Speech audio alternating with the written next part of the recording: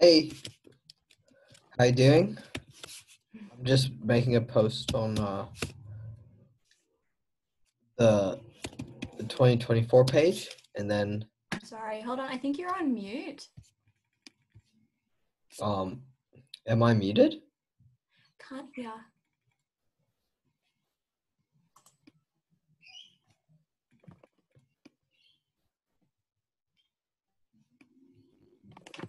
Hello.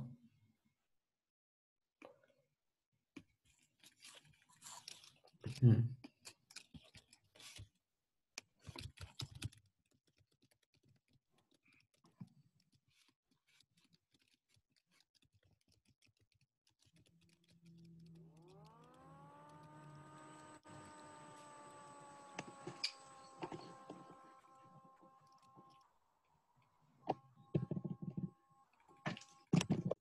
All good. Okay. Hello. Yeah. Hi. Yeah. All good. My bad. Sorry. I had it on. I think it was like on mute as well. So Okay. No. all no good. all good. Yeah. I I'm was just. I'm just making a post for uh the Med 2024 page now. So Okay. the link was just posted. Okay. All good. Um, I'll probably give like a little two minute introduction, then you can. Yeah. Sure. So would you like me to share my screen and I can just sort of run it through? Yeah, of course. Yeah. Yeah. And I'll probably like be muted and like doing something, doing some work Yeah, in yeah, the background. Yeah, but if you need anything, you can always message, and I'll be recording it as well. So Yeah. All good. Excellent. Okay. I'm all set to go as well. So. Um, All right, guess we'll just great. Okay. yeah, Yeah. like- We're getting some people. oh, Okay. that was quick. Here. I think I'll probably wait until about like 10.05 or something. Yeah. Yeah. That's cool. Um,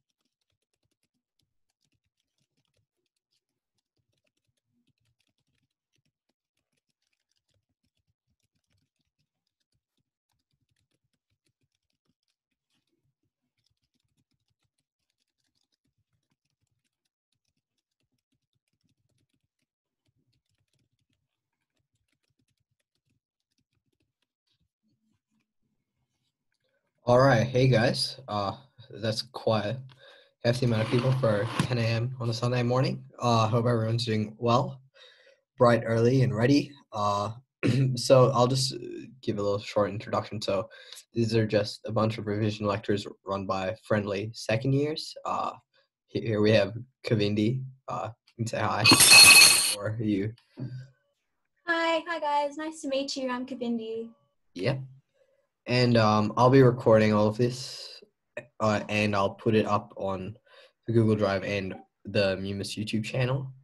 Um, if you guys have any questions, just pop it in the chat, and then uh, I'll take note of them, and Kavindi will probably get to them uh, at the end. Or if not, I'll just PM you the answer. Uh, we'll probably just get started. Uh, I'd recommend everybody keeping their uh, mic muted and uh, their videos off unless they want to be made like the meme of the whole cohort for the next month.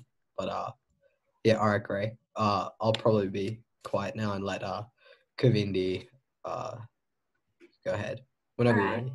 Yeah, thanks so much, Akil. Okay, I'm just gonna share my screen, guys. So just give me a second. Bear with me. Oh dear. Um, Akil, I think it says the host is disabled screen sharing. Oh dear. Oh, I hold on. Let me double check. Yep, I think you should be.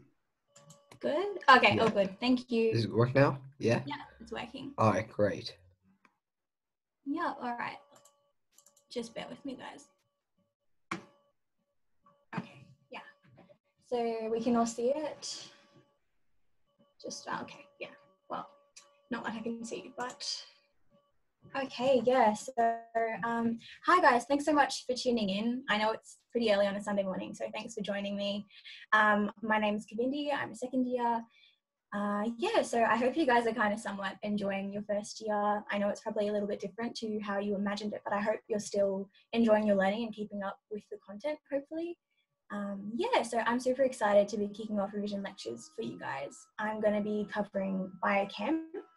Um, so hopefully the content is somewhat familiar to you at this point, but that's okay if it isn't. Um, obviously, some of you will be more familiar with it if you've done VCE or IB biology previously. Um, but regardless of where you are on sort of the continuum, um, my aim today is just to give you guys an overview and sort of consolidate some of those key concepts to help you feel a bit more confident um, going into things. So yeah, um, if you have any questions, just chuck them in the chat and hopefully we can check up on that. Or you can email me. So I've just left my email there for you guys.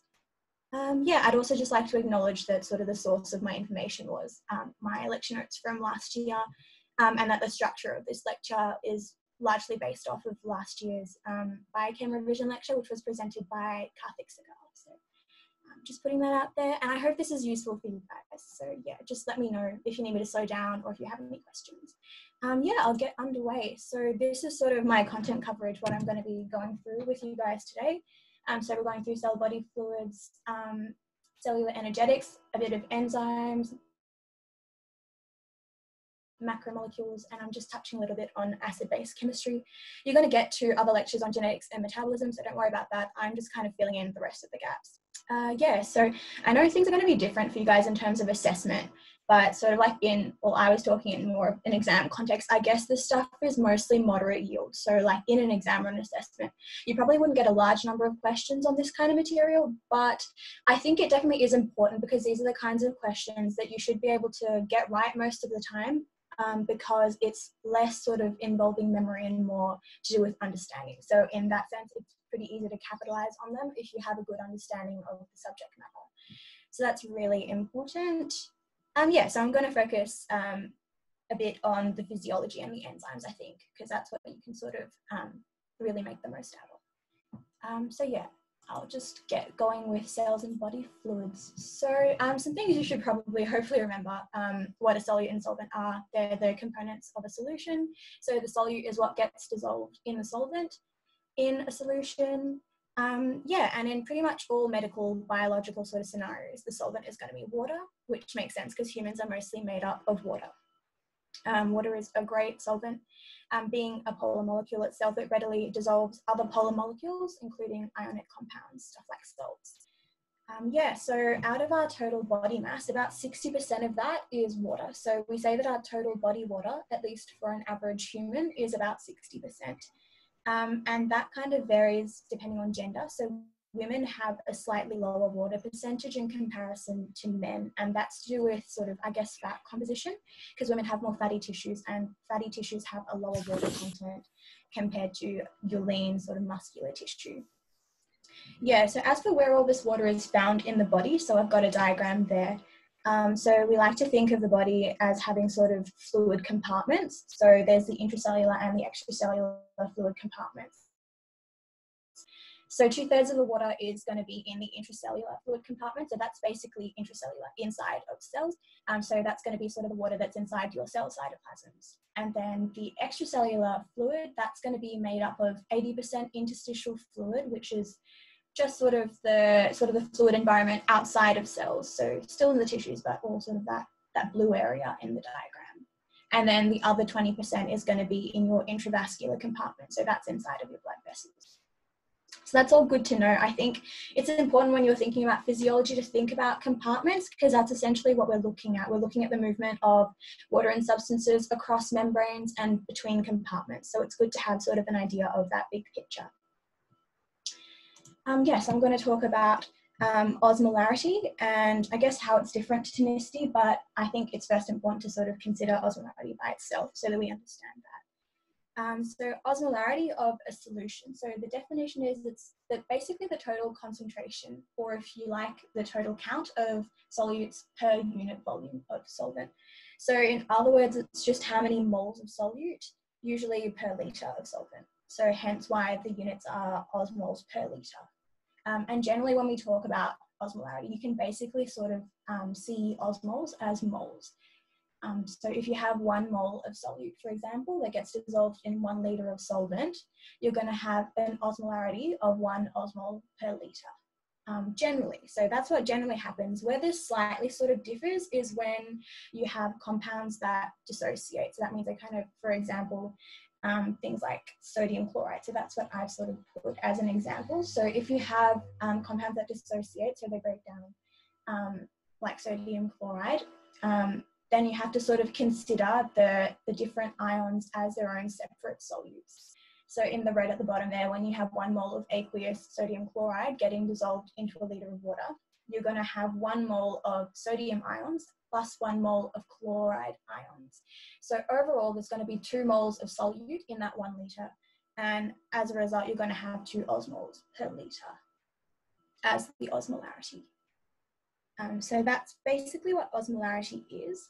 Um, so then sort of looking at tonicity, I guess. Um, oh, I also wanted to mention that so in questions they'll provide you with a dissociation constant, and what that will be is just a percentage of the substance that is going to dissociate. So, meaning that the rest of the substance won't dissociate. So, you have to take that into consideration when you're doing calculations. So, I have a question later on that we can look at as well. Um, but yeah, sorry, going back to tonicity. So, it's different in that it's only counting non diffusible solute particles. So, it's just those non diffusibles um, yeah, so that's what's different. So because of that, we're considering and making a differentiation between the solutes that can and can't diffuse across a membrane. And because of that, tonicity is kind of membrane dependent, I guess, because the membrane is what's going to determine, sorry, what um, will and won't diffuse through it. Um, yeah, so just a little bit more about that membrane permeability. So tonicity is membrane dependent. And in most cases, I guess we're, we're just considering our classic lipid bilayer. So I thought I'd put some information in about what can and can't pass through that. So the ones you should probably be paying attention to are sort of sodium and potassium. So these ones, we like to say that they're effectively non-diffusible or the membrane is effectively impermeable to them. So they don't really pass through or at least that's how we like to think of them. So in reality, they do pass through, but um, because of the protein, so the sodium, potassium protein pumps that they have on the membrane, those guys are in charge of sort of maintaining quite strictly the intracellular concentrations of these ions. So even when they do pass through, they kind of get kicked back out. So largely, we just think of them as being non-diffusible. Yeah, and the other one you should probably remember is urea. So that one is just definitely diffusible across the membrane. Yeah, so then we'll just talk a little bit about osmosis. Um, so it would probably be good to know the definition. So it's just the passive movement. So that means no energy required of water molecules from a region of low solute concentration to a region of high solute concentration across the semi-permeable membrane. Yes, so I have written down that the process is influenced by tonicity. Um, so Yes, so the water moves towards the, um, the sort of compartment or the side of the membrane that is containing solution with a higher tonicity, as you can see in the diagram there. So the water is moving to the side where there is more of those non-diffusible sugar molecules, which you can see are the red ones. So the water sort of moves towards the right-hand side in that diagram. So why does that happen? That's because, um, so if you think about diffusible solutes, so we know they're able to diffuse across the membrane. And as a result of that, they will be able to disperse themselves and sort of establish an equilibrium across both sides of the membrane. So they're going to balance themselves out nicely between um, the two compartments. Um, on the other hand, our non-diffusibles, they're not going to be able to do that because they can't cross the membrane. So as a result, they're going to stick to one side and they're going to create that solute imbalance. And that's what's going to cause um, or result in that concentration gradient where one side has a higher solute concentration. And so that's what's going to draw the water across the membrane. So that's why it's really the non-diffusibles that are having sort of an influence on the water movement in osmosis. Yeah, so that's an important point. We're looking at tonicity with osmosis. Um, yeah, so just moving on, these are sort of the types of exam questions you're going to get, or well, um, that we got um, are just basically scenarios where we have red blood cells in different solutions. So I've kind of tucked in a diagram so you can see sort of what happens with various types of solutions. So you're mostly going to be concerned with the tonicity, as we mentioned, because we discussed that previously. So um, First of all, probably a good thing to know is that the tonicity of a red blood cell is 300 milliosmoles per litre. So that's probably a good thing for you to remember. And when I say red blood cell, I basically just mean the cytoplasm of the red blood cell. So that inside the cell is 300 milliosmoles per litre. Um, some really common solutions you should probably sort of know about are saline. So saline is 0.9% sodium chloride, so that's your normal saline solution, and your dextrose, so you've probably heard of that, that's a 5% sugar solution. So those are, I guess technically speaking, those are your isotonic solutions. And we'll talk a little bit more about dextrose later. Um, so those are isotonic, the hypertonic solutions being just your plain water and your isoosmolar urea. Um, so what happens is if you put red blood cells in a hypertonic ECF, so the um, so like the, the fluid outside of the cell is hypertonic, having a higher tonicity, the water is going to move out of the cells and that's going to result in the cells shriveling up. Like you can see on the left-hand side, that's called crenation. If you have an isotonic ECF and you place red blood cells in there, there's going to be no net water movement because there's an equal tonicity inside and outside of the cell. And then lastly, if you put red blood cells inside of a hypotonic ECF, the water is going to move into the cells because the cells will, relative to um, the outside liquid, be hypertonic. They'll have a higher tonicity. So that's going to cause water to move in and cause the cells to burst. And so the term for that is cytolysis. And if you're talking specifically about a red blood cell, we can call it hemolysis as well. Um, yeah, so I just mentioned a little bit about osmotic pressure because I saw that it got in with some of your graded questions, but I don't think it was a huge thing for us in exams, at least. But um, just to know what it is, is basically osmotic pressure is the pressure that's required to prevent a solvent from crossing that membrane and entering that solution by osmosis. So you can see in the diagram there, um, the pressure that's being applied on the right hand side to stop the water from moving across the membrane into that area, that region of higher solute concentration. Um, so you can imagine that if you have a larger number of solute particles, so those orange things, if you have more of those, there's going to be a larger concentration gradient. So you're going to get more water flowing across that membrane, so a higher magnitude of water movement, and that's going to require a higher pressure to sort of push that down. So therefore, osmotic pressure is a colligative property, and what that means is that it's dependent on the number of particles in the solution. Yeah, and osmotic pressure can be calculated as well using Van Hoff's law. So I've just put that there. I don't think it's it's not a huge thing, but I thought I'd just mention that so that you um, you sort of have that knowledge there for you. I'm not going to go through it today, if that's okay. Um, yeah, so this is sort of the exam question that I was talking about. So you're, you're just going to get um, a red blood cell that's placed in some solution. Um, and you'll sort of have to work out what's going to happen, predict the direction of water movement. So an important assumption that you have to make with all of these scenarios is, is that the bath is going to be so large that um, sort of the amount of water that diffuses in and out of that cell is going to have pretty much no impact on the concentration of the solution inside the bath, just because um, the blood cell is so infinitely small compared to the water. So actually, in hindsight, this diagram is not to scale, so it'll be a lot smaller. So as a result, the concentration changes are going to be really minuscule, so it's not going to matter too much. Um, but yeah, I just thought I'd go through an example with you. So this is sort of the one that I've done. Um, so this is a red blood cell in 1.8% urea solution. So I thought I'd go through this one. I think it's a good example that illustrates why diffusibles don't really matter in osmosis. And it's really um, just the concentration of non-diffusibles or the tonicity that's going to govern that water movement.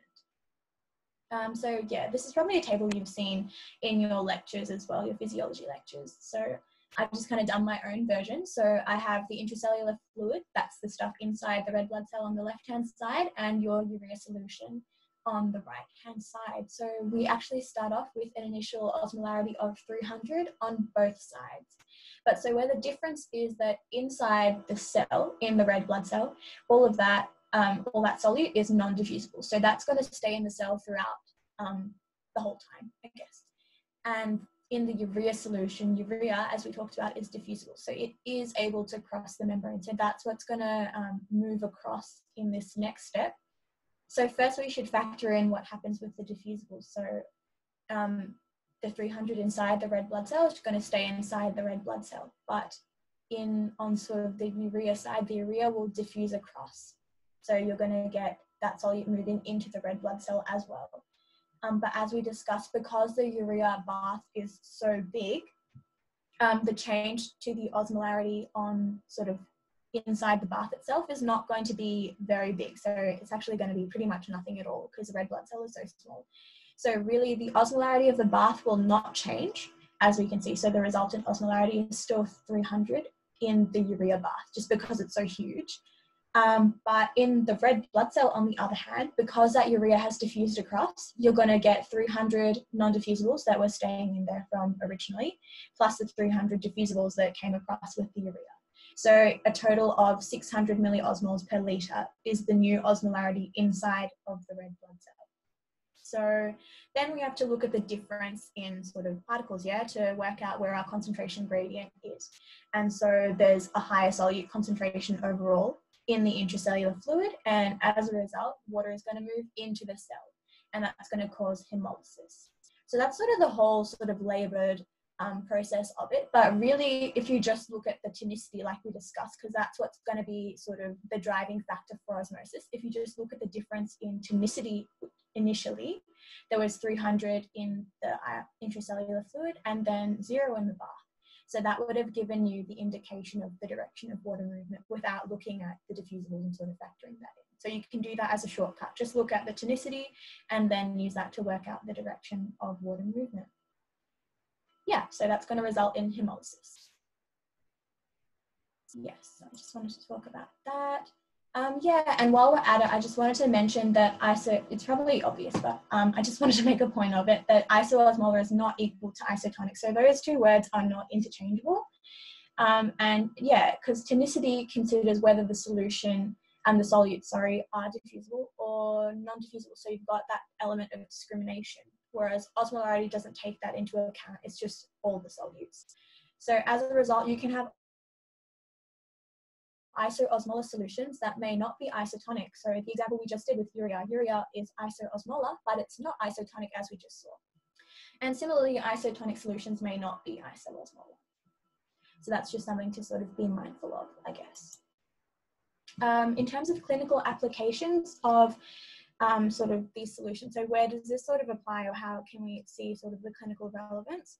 So I'm going to talk a bit about isotonic solutions. So the two that you should probably know are that normal saline solution and that 5% dextrose solution. So um, where are they used clinically and why do we use them, I guess? So these are given intravenously to patients as a means of fluid replacement. So that's how we replace lost fluids um, in sort of dehydrated patients. Um, we give them IV hydration. So, and also I guess with the dextrose, because it's a sugar solution, so that will also provide carbohydrates to the body. So that's a way of increasing a person's blood sugar levels actually as well. Um, but largely it's for fluid, fluid replacement, sorry.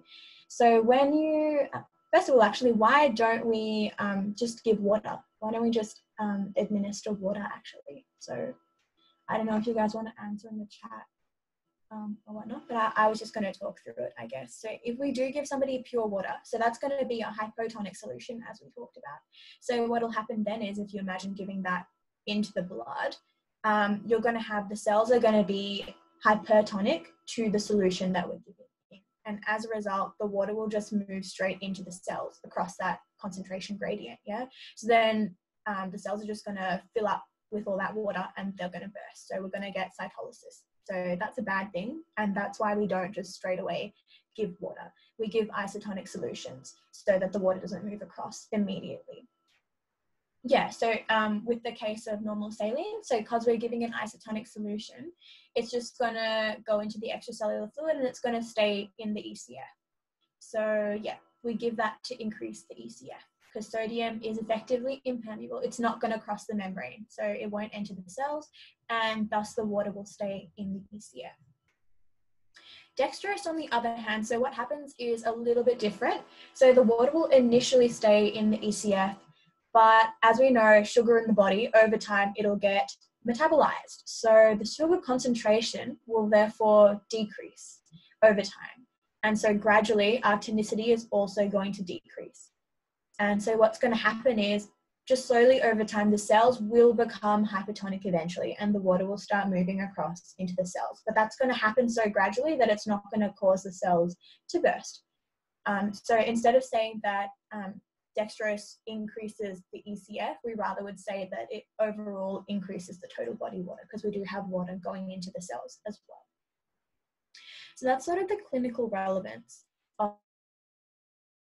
of, isotonic solutions. I just wanted to talk about that. And what I have here for you guys, just quickly, is a summary of all of that information. So all of those um, red blood cell in solution scenarios and also the clinical sort of relevance scenarios. So you can sort of go over that in your own time, um, just as a quick summary.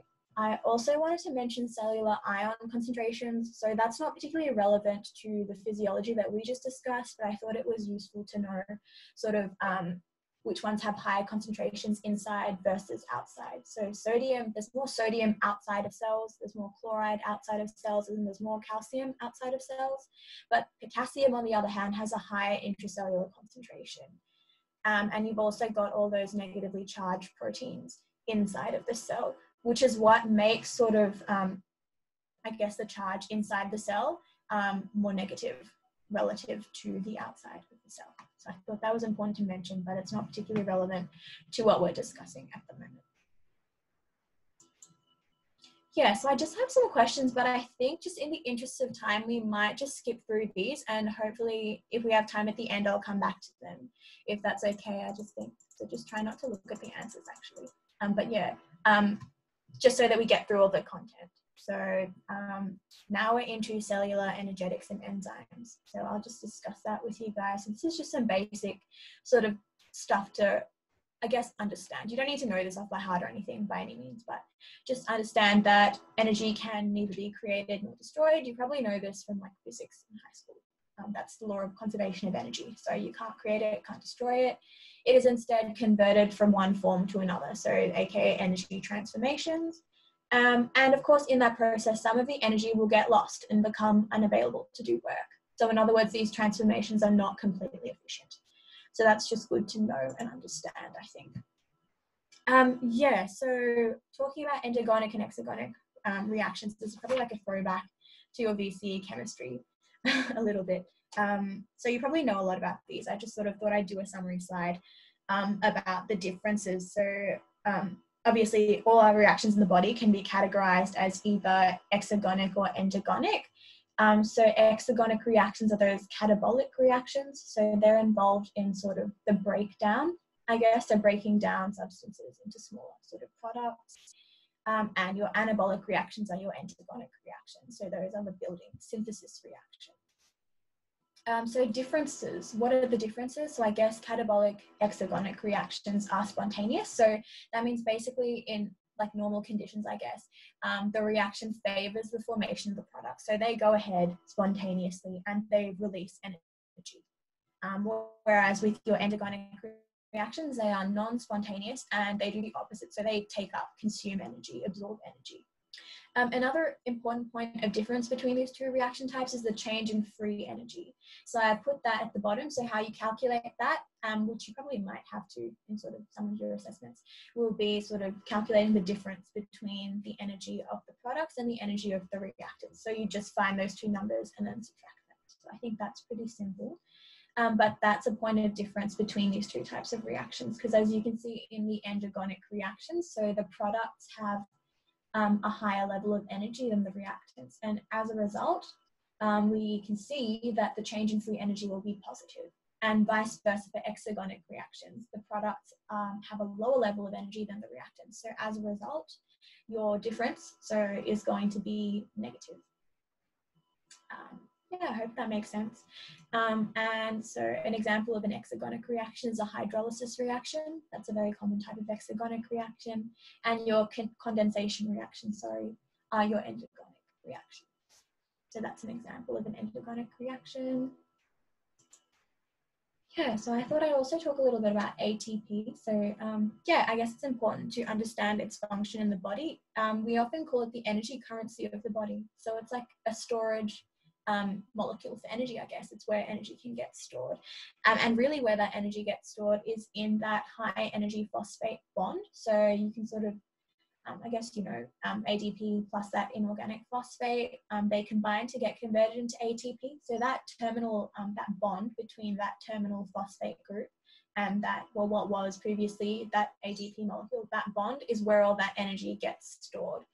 Um, and as it's required, you can break down ATP or hydrolyze it um, to release that energy. So that's what's sort of happening in this diagram here. We have, so on the top left-hand corner, you've got your exergonic reactions that are happening in the body, releasing that energy.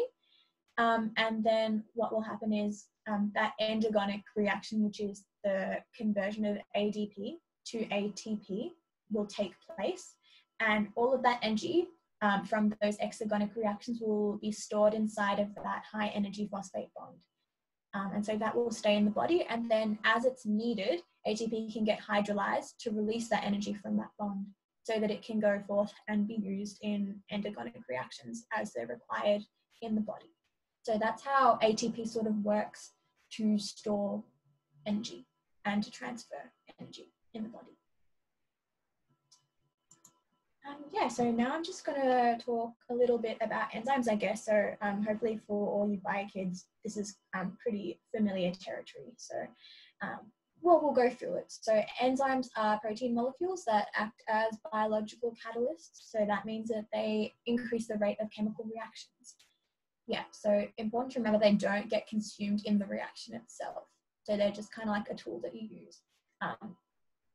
Uh, I didn't actually write this down in the slide, but it is important to know that they are substrate specific. So the enzyme kind of works specific to a particular substrate. So it has a function um, specific to the, the substrate, sorry. So um, yeah, I didn't put a diagram of this, but um, you probably discussed in lectures and whatnot, the lock and key model. So this is kind of what's happening in the diagram that I've shown. So you have the shape of the enzyme's active site is complementary to the shape of the substrate molecule.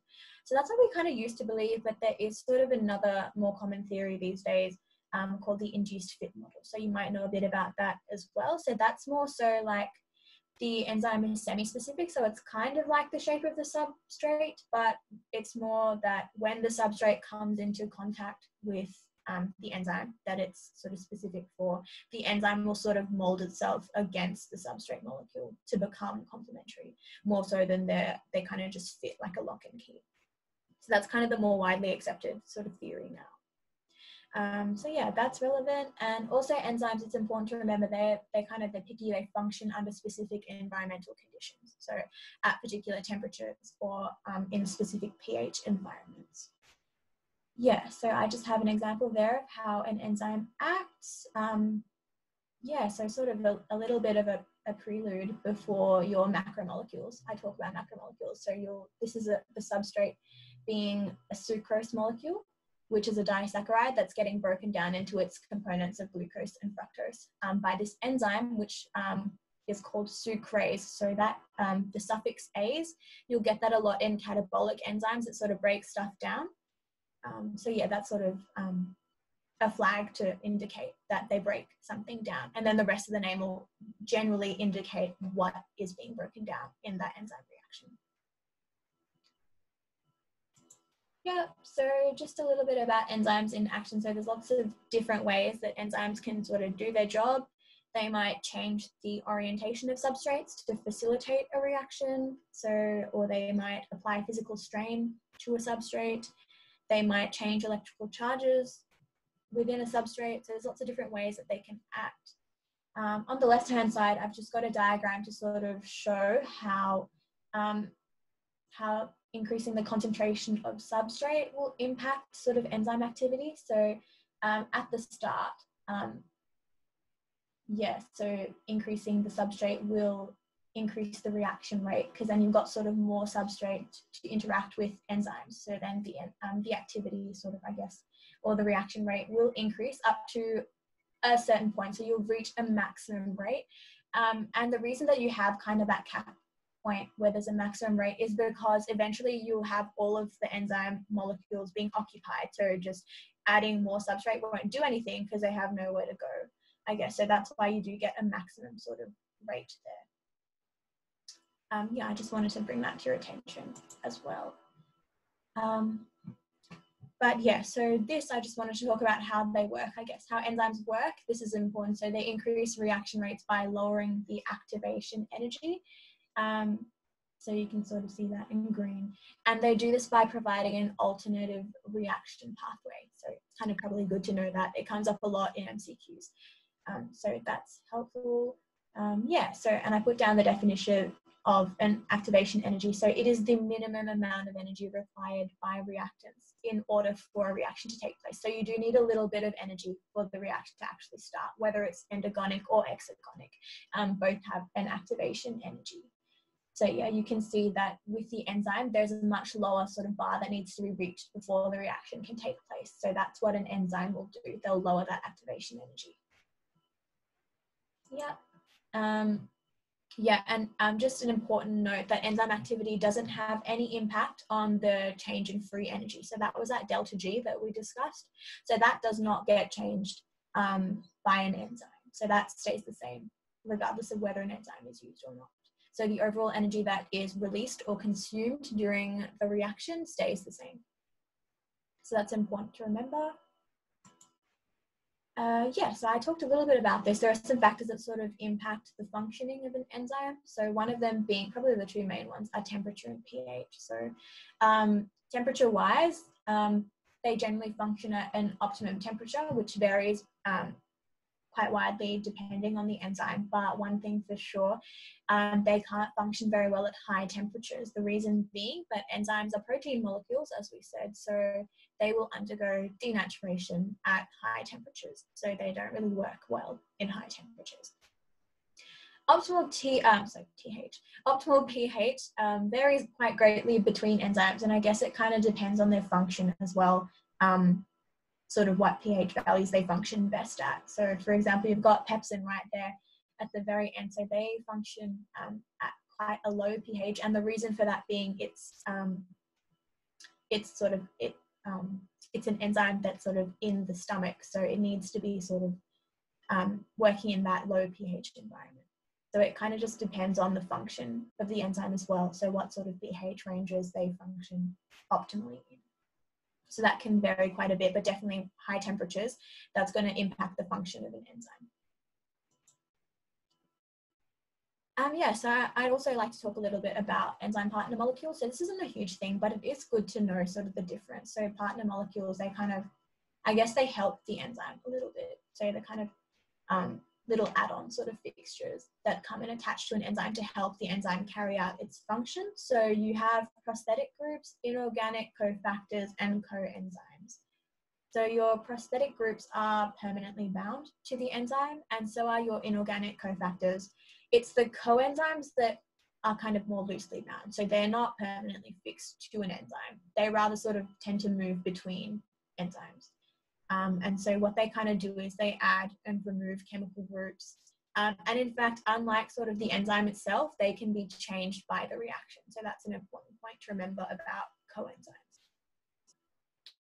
Yeah, and I've just got some diagrams um, here to sort of explain that. So you've got a prosthetic group on the leftmost side. So there, the prosthetic group gets permanently attached. That doesn't move around. Whereas the coenzyme is kind of detachable. It can move around between enzymes.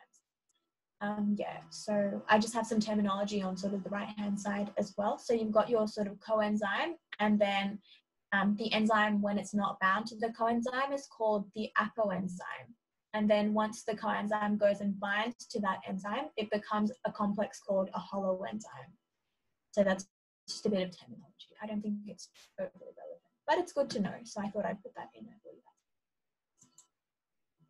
Yeah, so we're going to talk a little about um, enzyme inhibition as well. So hopefully um, this will sort of clear it up and help you sort of remember the different mechanisms. So we've got like three overall mechanisms, competitive, non-competitive, and uncompetitive. And then you've lastly got your negative feedback pathway, which we'll talk a bit about as well. So here's your nice color-coded diagram to help you sort of remember what how each of them work, I guess. I'll go into a bit more detail about each one. So you've got your competitive inhibition. So this is the one where um, your inhibitor molecule binds directly to the active site of the enzyme. So it takes up that space and competes directly with those substrate molecules to occupy that active site space. So it's kind of like a game of musical chairs who gets there first. So that's how they kind of prevent um, the reaction from taking place by occupying that space where substrates would be able to bind normally. Um, so an important note that sort of sets competitive inhibition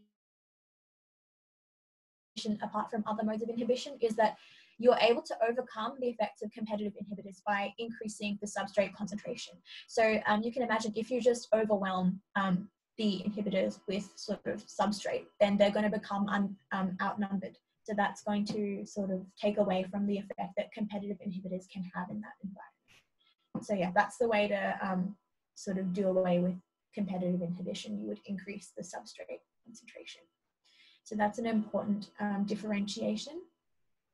Um, next, talking a little bit about non-competitive inhibition. So this is different to competitive inhibition. So they don't go and bind um, directly to the active site. Instead, they bind to just a site that is not the active site, and that's called the allosteric site. So sometimes you'll see non-competitive inhibition called allosteric inhibition for that reason. So those two are the same.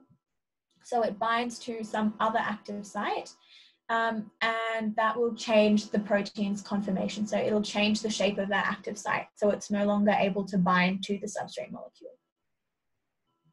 Yeah, and so because of that, it's got nothing to do with um, sort of occupying the active site itself. And as a result of that, you can't eh, sort of overcome the effect of this type of inhibition just by increasing the substrate concentration. Yeah, and then lastly we have uncompetitive inhibition. So this doesn't, they don't really interact with so much the active site or another site. They rather sort of bind to the enzyme substrate complex itself and they, yeah, so they attach to the substrate after it is bound to the active site and just block the release of the product. So they stop the product from getting released. Um, yeah, just in the chat. Um, how can non-competitive inhibition be overcome then? Okay, so um, not really sure to be honest. Like uh, we haven't really discussed um, that I guess. So I guess the point I'm sort of making is that there isn't sort of a way to overcome that. So it's probably the more potent um, way of um, inhibiting enzymes. Is it Savannah? Savannah? Yeah, so that's how that kind of works. So unlike competitive inhibition, this one is a little bit harder to overcome actually. Um, I can't think of any ways off the top of my head, not that we've learned. I can have a look and get back to you, but um, I think the main point for you to sort of understand is that, um, yeah, more so than what other ways can overcome it, the fact that it can't be overcome by increasing substrate concentration is the more important point. Was that helpful? Um, sorry, I kind of, um, doesn't really matter, but um, yes, okay. thanks so much. Yeah, thanks so much for your question. So guys, keep asking questions if you have issues or sort of, I know you're wondering extra information. That's really good. I like to see that. So thanks so much for your question. Um, yeah, so I might have a look into that then and I might get back to you. We'll see how we go. But yeah, thanks for asking that. Um, so yeah, and so you can imagine same thing with uncompetitive inhibition, just like non-competitive. So because it's not interacting directly with that active site, you're not going to be able to um, overcome the effects of an uncompetitive inhibitor either by increasing that substrate concentration. So that's only going to work if you have competitive inhibition going on. Yeah. So that's sort of those three mechanisms. And then you've kind of got this additional one the negative feedback pathway. So this is kind of something that happens with um, enzyme mediated pathway. So I think it's best explained using the diagram, I guess, if we just have a look at the diagram. Um, so it's like a pathway of different substrates being converted. Um, and then so the last one being D, this is the end product. So this is also called end product inhibition. So it's basically when you get like an adequate concentration of this end product. And so eventually some of it diffuses across to sort of, I guess, the first area of the pathway. And so this end product also doubles as a non-competitive inhibitor for that first enzyme that converts A to B. So it'll sort of um, lock in place here and prevent um, the reaction from A to B taking place. So therefore this whole pathway is stopped because of um, that. So the end product, once there's enough of that, it'll just come in and stop that reaction from happening. So no more of it gets produced. Yeah, so that's sort of how that works. It kind of halts its own production. It sort of self-manages in that way. So yeah, that's important. That's going to be allosteric inhibition or um, non-competitive inhibition happening over there. Yeah. Um, so just more questions. Hopefully we'll get to come back to these at the end, um, but just in the interest of time, I just want to make sure I get through the content first. So that was all the enzyme stuff. So I'm now just going to sort of briefly talk about macromolecules, and this will be a sort of a nice segue into metabolism. So uh, there are four types of biomacromolecules, so you'll probably be familiar with them. Um, there's carbohydrates, lipids, proteins, and nucleic acids. So first I'm talking about carbohydrates. So these are, you probably remember they're compounds made of carbon, hydrogen, and oxygen, and the hydrogen and oxygen is present in a ratio of two to one. So that's one way to sort of identify carbohydrate molecules, I guess, if you're looking at a formula. Um, yeah, and they can be classified based on their chemical structure. And by chemical structure, what I basically mean is how many of those monomer units are being sort of um, connected together. So we have our basic monosaccharides. Those are our just, just, just single basic units. So they're just standalone molecules. So probably the most popular one that you would know is glucose. There's also fructose and galactose. So all those are your monosaccharides. And then you got your disaccharides, which are combinations. So they're two joined monomers that are joined together um, by glycosidic bonding. So we'll talk a bit about that later. But yeah, so main thing, two monomers is disaccharides. Um, common one is sucrose. So we sort of saw that in that enzyme reaction before. So that's made up of a glucose and a fructose that's been joined together. The last two are oligosaccharides and polysaccharides. So basically, they just have more than two monomers, I think. And polysaccharides have just a greater number of monomers in general versus oligosaccharides. So I guess the numerical sort of distinction of like how many monomers can um, sort of constitutes an oligosaccharide versus polysaccharide. Uh, it varies a lot depending on sort of what textbook you look at and what source you're looking at. So I don't think that's particularly important. I just wanted to make you sort of familiar with the word oligosaccharide, but sometimes it's not even used. So really just um, remembering polysaccharides is sort of three or more. Is probably the way to go there. So there's some examples there of different types of carbs and how they're sort of classified.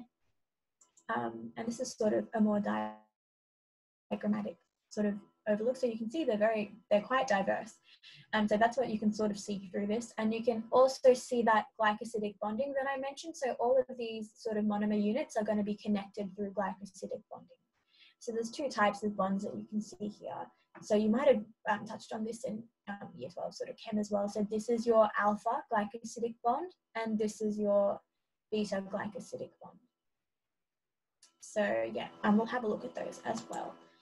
Um, but first, I just wanted to sort of talk about polysaccharides. So the two that we're sort of concerned with in sort of like a, a human biological context are going to be your starch and glycogen. So that's the ones that you sort of um, we're looking at primarily. So your starch is there's two types of starch, amylose and amylopectin. So amylose is going to be your linear sort of polysaccharide. So they're actually quite they're unbranched. So you won't see any branching. They're just kind of a long chain there. So they're your linear ones, and amylopectin is kind of branched every once in a while. So we say it's occasionally branched. So that's your amylopectin. So I like to think of it as like, because amylose is a shorter word, right? So it's less complicated. It's just linear. And then you have your glycogen up the top here. So that's like really, really branched. So it's probably more structurally similar to amylopectin, but yeah, so it's really just highly branched. It's a highly branched polysaccharide. Um, and just talking a little bit more about that bonding. So we're going back to sort of um, discussing the difference between al alpha glycosidic and beta glycosidic. That's not particularly important, but it is good to know that there are two types. Um, it's probably better to sort of know the type of bonding occurring within polysaccharide molecules. So um, just with your amylose, so um, amylose, we talked about how it's unbranched. So it's just going to be a main chain, just a single main chain. And all of those sort of linear linkages, they're going to be connected through alpha 1 4 glycosidic bonds. So that's what's um, sort of doing all that main chain linkage. And then with branches, so where we have branches, so we have branches in amylopectin, and if you can also remember, there's branching in glycogen as well. So where we have branching happening, that's going to be an alpha 1 6 glycosidic bond. So you can imagine with amylopectin, you're going to have a mix of 1,4 and 1,6 glycosidic bonds happening in this molecule. And yeah, and more of these 1,6 bonds, even more in your glycogen. That's sort of important to sort of understand. And it's just good to remember the type of bonding that's occurring. Um, yeah, hope that's clear. Uh, I'm going to also talk a little bit about lipids. So there's three types of lipids or main classes that you'd probably be familiar with. So you got your triacylglycerols or triglycerides, there's a couple of names for them. Tags is like a short form. Um, yeah, so what those are, uh, they're basically a glycerol molecule and that's undergone a condensation reaction. So for each of its three hydroxyl groups on that glycerol molecule, you're going to have a fatty chain, um, a fatty acid chain attached to it. So it almost looks like an E shape, like a really long E shape. That's your tags. They're formed through those condensation reactions. They're a primary form of energy storage in mammals, and they're a major dietary source of lipids. So that's probably your main one that you're sort of seeing in your body. Um, you're probably already familiar with phospholipids. So those are um, um, a very important cell membrane component. Yes, so they have that. I'll, i have diagrams later, um, so I'll show you those in a minute um, but they're consisting of a phosphate head with your two fatty acid chains. So they're actually quite um, structurally similar to the tags, and I'll show you how in a minute. Um, but so you've got your hydrophilic head, the phosphate head, and then your lipophilic fatty acid chain tails. So that's what makes it amphiphilic. So it's got um, a hydrophilic bit and a hydrophobic bit. Um, which is what enables it to form that lipid bilayer actually. So it's quite important, that feature of the phospholipid molecule probably the most important part about that. Um, and then you've also got steroids. So those are quite structurally different to the other two. So they're kind of, um, you'll be able to pick them out based on their four fused hydrocarbon rings. So they look quite different. Um, and they're the precursors for your steroid hormones, your bile acids, and your um, vitamin D. Um, they are also a cell membrane component. Um, and they are in charge of, in, not really but like maintaining the fluidity of the membrane. So that's a huge buzzword. So if you see anything in a question about membrane fluidity, like maintaining fluidity of a membrane, that's your steroids. So keep an eye out for that. That's a huge buzzword there. Fluidity. um, yeah, so these were the diagrams that I was talking about. So you can see that E-shaped triglyceride. So those hydroxyl groups have um, undergone condensation reactions to connect to those fatty acid chains. So it's forming that sort of E shape. Um, you've got your phospholipid. So this is almost like a tag, but basically instead of that third fatty acid chain, what you've got is a phosphate head attached to it. So they're actually quite structurally similar. And then you've got your odd one out, which is the steroid. So you can see those four fused rings.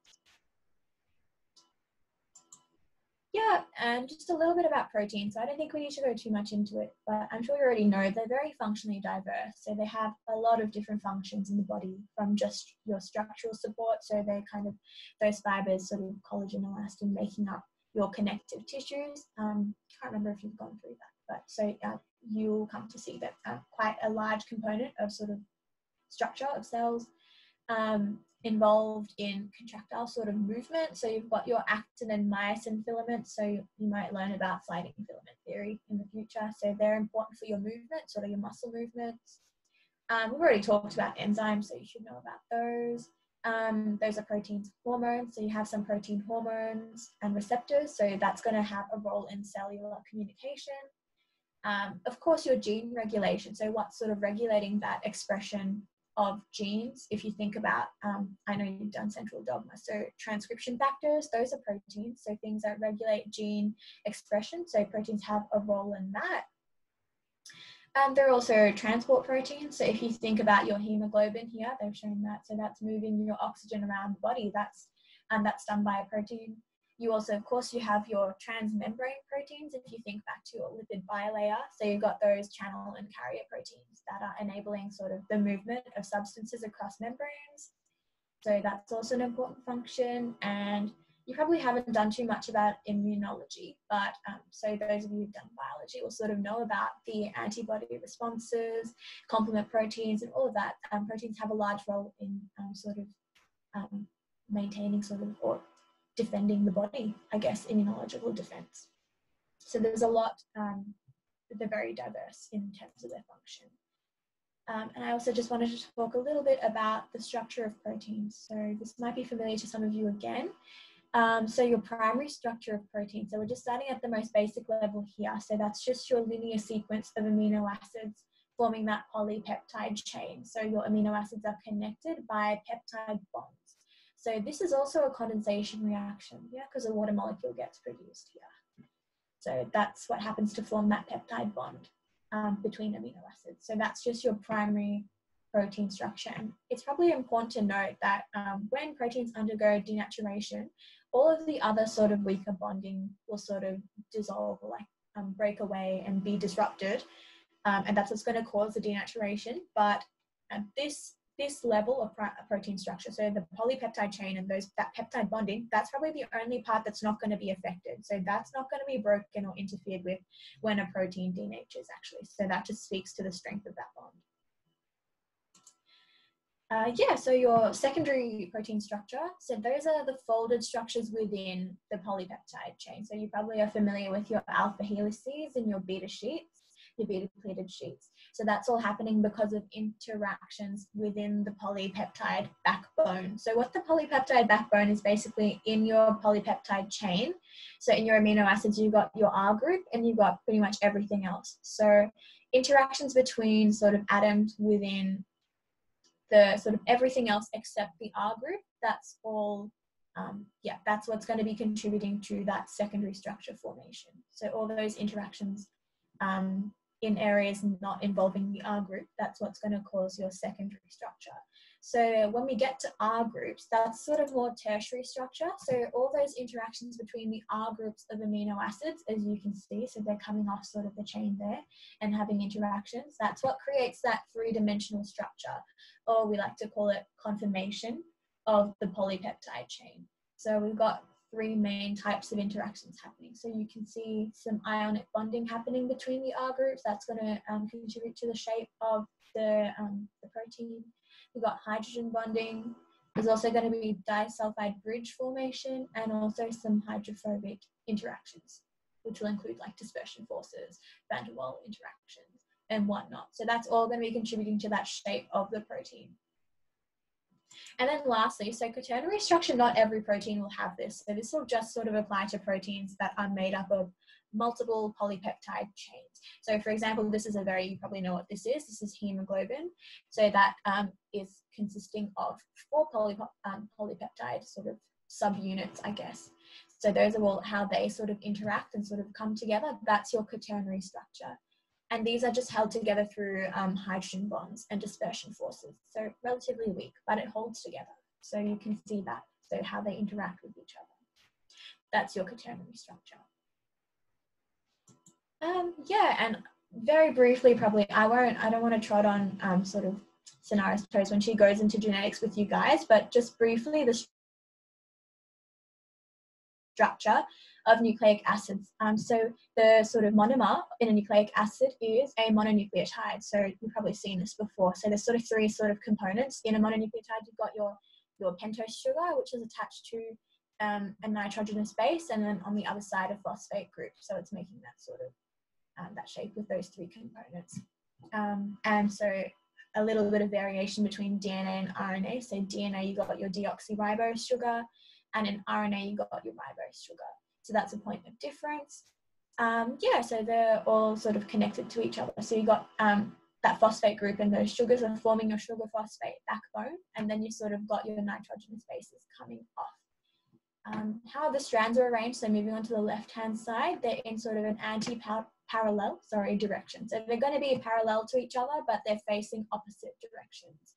And then you've got that hydrogen bonding between those um, nitrogenous bases that are coming off the sugars. So they're going to be bonding there and forming those rungs of that ladder, which we can see there. So you've got hydrogen bonding between adenine and thymine, so that's going to be a double hydrogen bond. And your cytosine and guanine, there's going to be a triple hydrogen bond. So an easy way to remember adenine to thymine, cytosine to guanine is apples in the trees, cars in the garage. So that's how we learned how to remember um, which one bonds to which one. Yeah, so that's sort of forming that staircase and just remembering in RNA, thymine gets replaced by uracil. So that's going to be in there and binding with adenine. But yeah, so you've got that DNA ladder and overall the structure is helical, so it forms a helix, um, which you're probably quite familiar with yeah, so that's all I wanted to really talk about. This is just energy values. So you'll probably need to, you might have to do some calculations to calculate energy contents of food or substances. So here they are. You don't have to memorize this, but it's good to know that fat has probably the highest energy content. And you'd be surprised, or maybe you wouldn't be. Alcohol is kind of even more so having a high energy content than your carbohydrates and proteins. Um, so good to remember that. Um, but yes, and I just have a, a slide at the end about acid-base chemistry. So I don't actually know whether you guys went into this because we didn't actually get it covered in our year. Um, but I just thought I'd touch on it so I can cover all the bases with you guys. This is pretty much all the relevant information that we at least needed. Um, yeah, just a look at the chat. Uh, you kind oh, you kind of did cover it. Uh, I'm very sorry if you went into a lot of detail with it. Um, this is all I really, we really learned about it. So um, unfortunately, I'm very sorry I won't be able to sort of give you more information about acid-base chem. We kind of didn't get that lecture. Um, but so this is sort of my sort of limited knowledge that we kind of were, we had with it. Um, all we kind of knew was we just learned the normal pH and sort of what acidosis and alkalosis is. So at least I can give you some information about that. Um, so yeah, important to note the normal pH is 7.4. So in um, the normal, in the blood of normal human, you you would be expecting a pH of 7.4. So then any deviation, so if you have a lower pH than 7.4, you would call the patient acidotic. So we don't say they're acidic, we say they're acidotic. So that's sort of the medical term. And if they have a blood pH that is greater than 7.4, then we would call them alkalotic. So that's when you have excess base in the blood. Um, yeah, so neutral pH is 6.8. I mean, it might be good to know, but I don't think it has any clinical relevance. Um, so um, probably more important to remember that um, 7.4 is a normal pH, and that's sort of how we gauge whether someone's acidotic or alkalotic. So that's probably the important number there. So yeah, you can get, um, you can be acidotic or alkalotic for a number of reasons. So it can be sort of um, due to sort of respiratory, respiratory, sorry, been talking for a while, respiratory acidosis or alkalosis, or it might be sort of to do with um, metabolic issues. So this can happen as a result of sort of, um, it can be due to medical conditions, or it might be because you have some electrolyte imbalance or something that's impacting sort of the acidity in your blood, or it might be sometimes even adverse effects of um, medications, things like that can result in acidosis and or, um, or alkalosis. Yeah, so respiratory acidosis is when too much carbon dioxide is building up in the body. So that's to do with sort of your gas exchange. So you're having um, a buildup of CO2 in the body because not enough of it is being expelled when you're breathing. Um, and on the other hand, respiratory alkalosis is when there's insufficient CO2 in your bloodstream. Um, so you're not sort of taking enough CO2. So that can also happen. Um, yeah, and so metabolic acidosis is when your body cannot eliminate enough acid or it's eliminating too much of the acid. So you've kind of got an imbalance there. And then likewise with metabolic alkalosis, either your body is getting rid of too much acid or it can't eliminate enough of the bases. So that's also causing an imbalance. Um, yeah, so I'm uh, just thinking anything else that I wanted to talk about. Um, yeah, so, or it might be interesting for you guys to know that sort of respiratory alkalosis, at least, um, can be caused by hyperventilation. So, if you're hyperventilating, you have an increased respiratory rate. So, that's going to result in an excessive sort of expulsion of CO2. So, you're getting rid of a lot of your CO2 in the body. So, naturally, um, it's going to, yeah, so it's going to decrease the amount of carbon dioxide you have in your body and in your bloodstream. Uh, so, sorry, I'm just checking the chat every once in a while. Oh, excellent. Okay, so you didn't learn as much. Um, okay, so that's good. So uh, I'm glad I'm covering stuff that you covered, so that's good. Yeah, so talking about going back to my sort of um, hyperventilation, so increased respiratory rate, you're sort of puffing out a lot of your CO2, so it your um, carbon dioxide blood level is decreasing. So you have not enough in your body, so that's going to cause the levels in your blood to drop. So that's sort of what happens when you hyperventilate. So that can be a cause of respiratory alkalosis. Um, yeah, and that's also kind of commonly why, I don't know if you've sort of noticed or seen in sort of cartoons and movies, you see that when people hyperventilate, you get them to sort of, or they pull out like a paper bag and start breathing into the bag. So sort of the theory, I don't know how, how correct it is, but the theory behind that is that you're sort of rebreathing the air that you've exhaled. So all that CO2 is getting back into your body.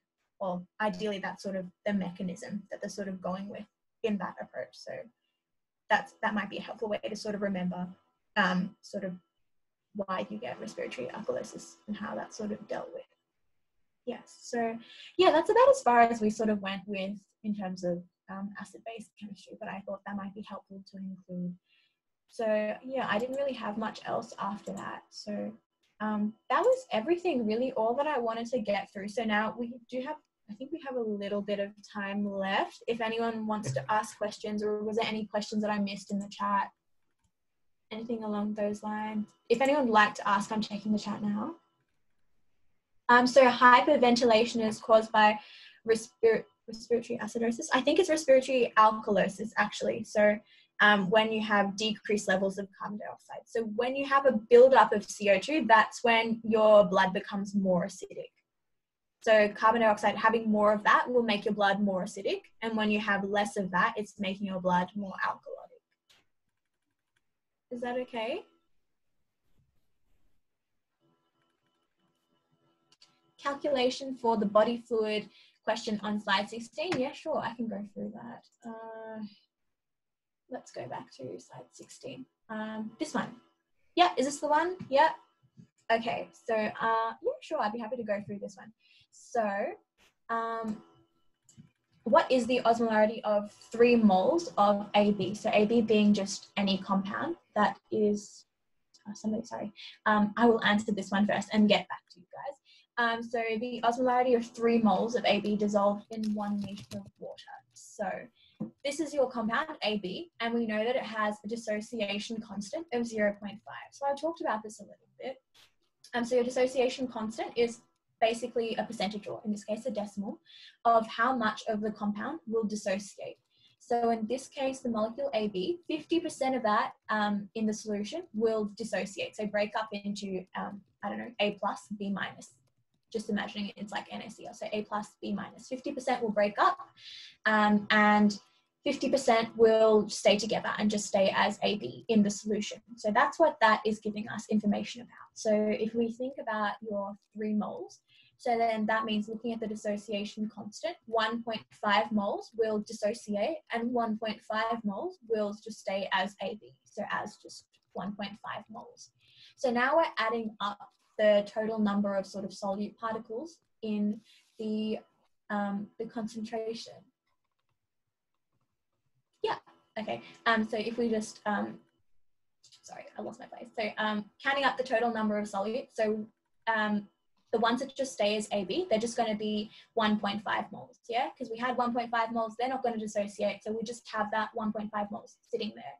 Um, and as for the other 1.5 moles that dissociated, so that's going to split up into two, um, two molecules, I guess, um, each. So basically that 1.5 moles is going to double because that 1.5 moles will turn into 1.5 moles of A and then 1.5 moles of B.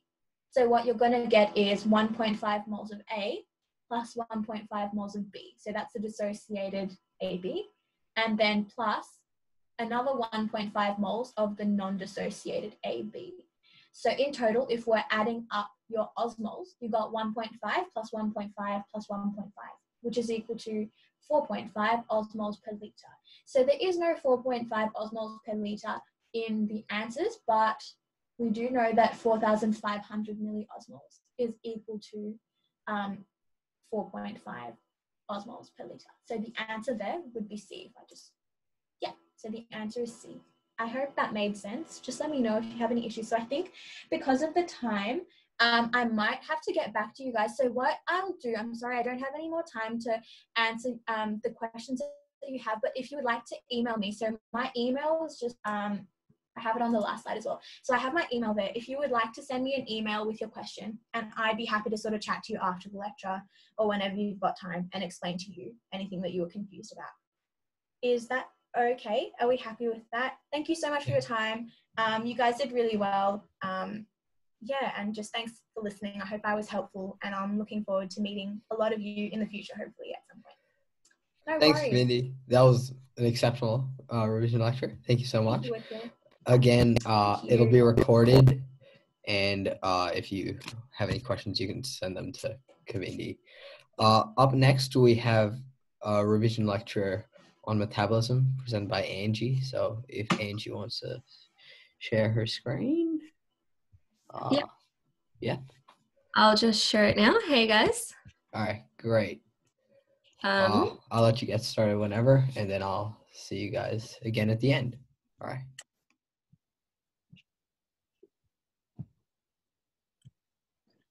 Cool. How do I share my screen? Um, I think there's, if you look at the bottom, there should be the green share ah, screen button. Got it. Thank you. Yeah, no worries. All right.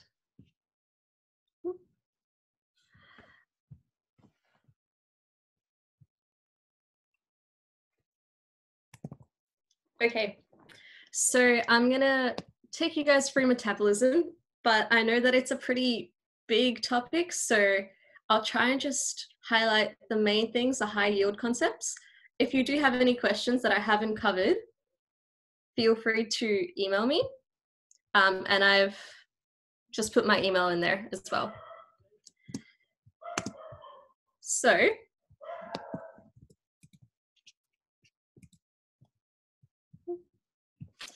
as just a basic overview, this is what we're going to go through um, for the main topics. But we'll just start with a really brief review of coenzymes because they are very important for the topic of energy. We have um, a couple of main ones. I hope you guys all know by now, ATP is the energy currency of cells. And that's because it has those large three phosphate groups on the end, which can be broken up um, to release energy and they cycle through the cells so that when we have a process that creates energy, they can take in that energy and store it in the bonds. And when we need energy, we can break them apart and release that energy. But another really important, or a couple of other really important coenzymes are the NAD FADH coenzymes, and that's because they're used in the electron transport chain. So they're used in a lot of cellular processes and they accept electrons that will then be given off to the electron transport chain. And just another broad overview, we have digestion and mobilization as two ways of transporting energy and fuel molecules around. So firstly, digestion just refers to the food we're actually eating and breaking that down um, in the main digestive organs, that's mouth, stomach, intestines, um, and liver is also very important, as well as the pancreas for producing enzymes. Then mobilization is when we use the stored molecules that we already have in our body and we can repackage them and send them through the bloodstream to different tissues for use.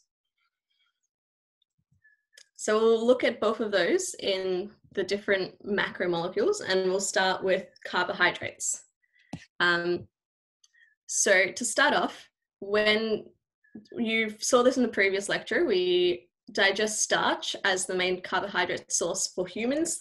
Um, we can't digest cellulose or the other carbohydrates, but um, the starch is broken down mainly in by amylase, which is the main enzyme. We have multiple types of amylase.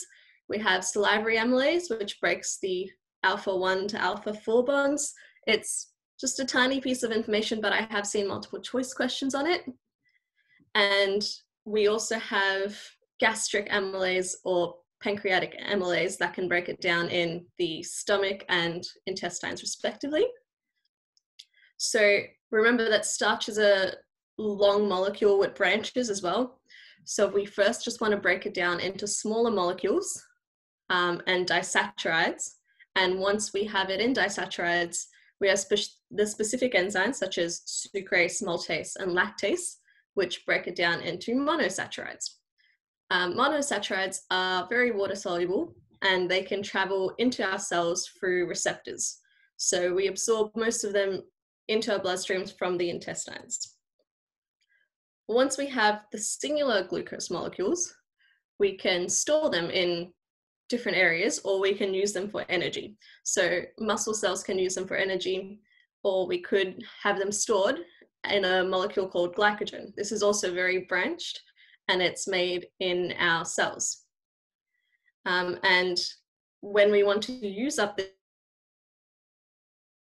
this glycogen, we use insulin, that's our main molecule for it, to that signals to release glucose from this glycogen molecule. On the other hand, we have mobilization. So um, this is after we've stored it. Oh, sorry, insulin signals for glucose to be taken up and turned into glycogen. Um, mobilization is once we want to break that glycogen down and reuse it. So this might be long after we've had a meal and we need more glucose and we've run out of that blood glucose, so we need a source for it. And this source is glycogen. In skeletal muscles, we can break down the glycogen directly to glucose to be used in respiration. Or in the liver, which is another, the main organ for mobilization, we can break it down into glucose 6 phosphate that we can release into the blood, and that can travel around the body until it reaches its target tissue. Now, the hormone that signals for this is glucagon. So, glucagon signals to break down this glycogen and release glucose. Um, a way of remembering them is that diabetics take insulin when they have a lot of sugar. So, insulin's the one that signals for glucose to be taken away and made into glycogen. Um, where, on the other hand, glycogen is the one that signals for uh, glucagon is the one that signals for glycogen to be broken down and released into the bloodstream. So now just a few distinctions. We have these three big processes, glycogenolysis, glycogenesis, and gluconeogenesis. And they can sound really similar, but if we just break them down into smaller words, we can see that they're basically, they are what they say they are. So glycogenolysis, lysis means the breakdown, and glycogen refers to, well, just glycogen. Um, so it refers to breaking down glycogen into glucose. And I've just highlighted the main enzyme for this is glycogen phosphorylase. Then we have glycogenesis. Genesis means to create something. So glycogenesis is the creation of glycogen. And this is made from glucose molecules. Um, the main enzymes for these are glycogen synthase and also the branching enzyme, which makes the branches. I'll come back to them in one second. But first, let's also look at gluconeogenesis. So gluco refers to glucose, neo means new, and genesis, once again, is the creation. So this refers to the creation of glucose molecules from sources that weren't carbohydrates to start off with. And they can be things like lactate, amino acids, glycerol, acetone. Um, also important to note that the process of gluconeogenesis, so making glucose from other little molecules, isn't really just the same as doing glycolysis, but the opposite way. There are different enzymes involved in it.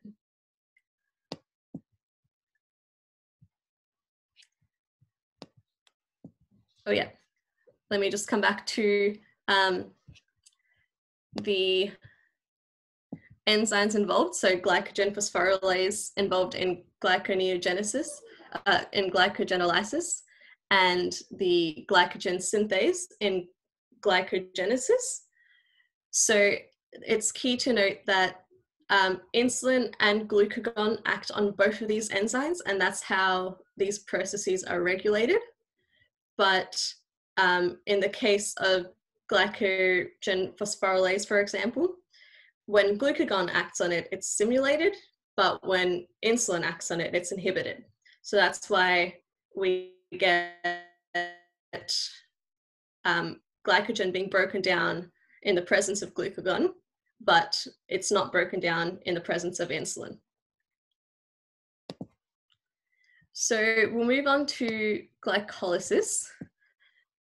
Um, this is one of the first steps of cellular respiration, and it's a pretty long process. There's 10 steps in it, but you don't need to know all of these steps.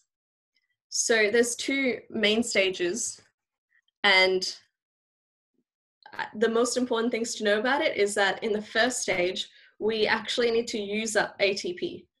And it's just a stage where we're preparing the glucose molecule into another six carbon molecule that can be broken down. The stage after that is the payoff stage, and here we produce four ATP. Um, and we also break down that six carbon molecule into two three carbon molecules. Because we've only used up two ATP, but then we've gained four ATP, we can say that we've had a net gain of ATP. So it's still an ATP producing process. For the sake of multiple choice questions, what I would say is important to remember is that steps one and three use ATP and steps seven and 10 produce ATP. Also notice that we have the coenzyme NADH, which is also being produced. And by the end of it, we end up with two pyruvates. So if we don't have oxygen, we then go into fermentation. Um, and here we have our pyruvate molecules being converted to lactate. This is this occurs in the cytoplasm still when we don't have enough oxygen, so it doesn't move to the mitochondria. And we can notice that before in glycolysis, we had NADH being produced, but if you look at the process of turning pyruvate into lactate, NAD plus is actually produced. So in situations when we already have a high concentration of NADH, pyruvate will be turned into lactate to use up that NADH. But of course, we know that lactate isn't really that good for us because it makes our muscles sore. So we need a way to get rid of it, and that's through the Cori cycle. I don't know how much you guys have done on it, but it's you don't need to remember the details of it, just to know that it the purpose of it is to move the lactate back into the liver and turn it into glucose through gluconeogenesis because the muscle cells themselves can't actually turn lactate into glucose. So it has to be transported to the liver first. Okay, let's go back to if we do have oxygen and we want to do aerobic respiration.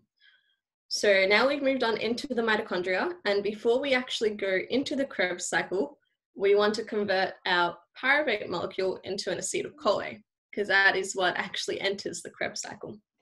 And to do that, we have this little reaction called a link reaction. It doesn't create any ATP, but it does break down the three carbon pyruvate into a one two carbon acetyl CoA. So one carbon is released as carbon dioxide, and we also get an NADH out of it.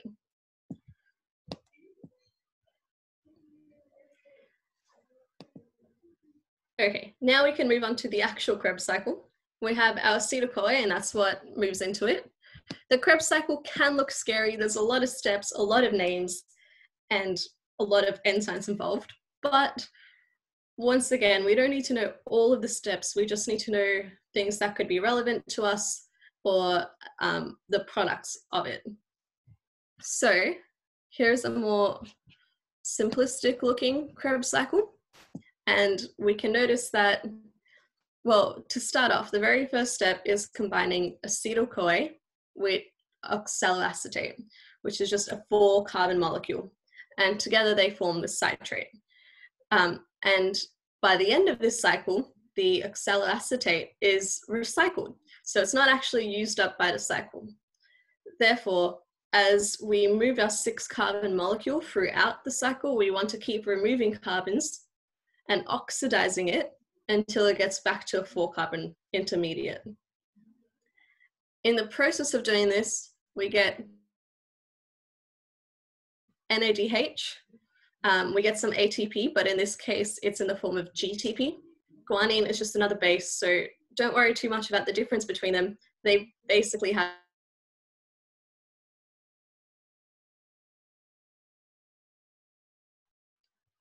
Now, for each one acetyl-CoA that we put through your cycle, we're going to get three NADHs, one FADH, and one GTP.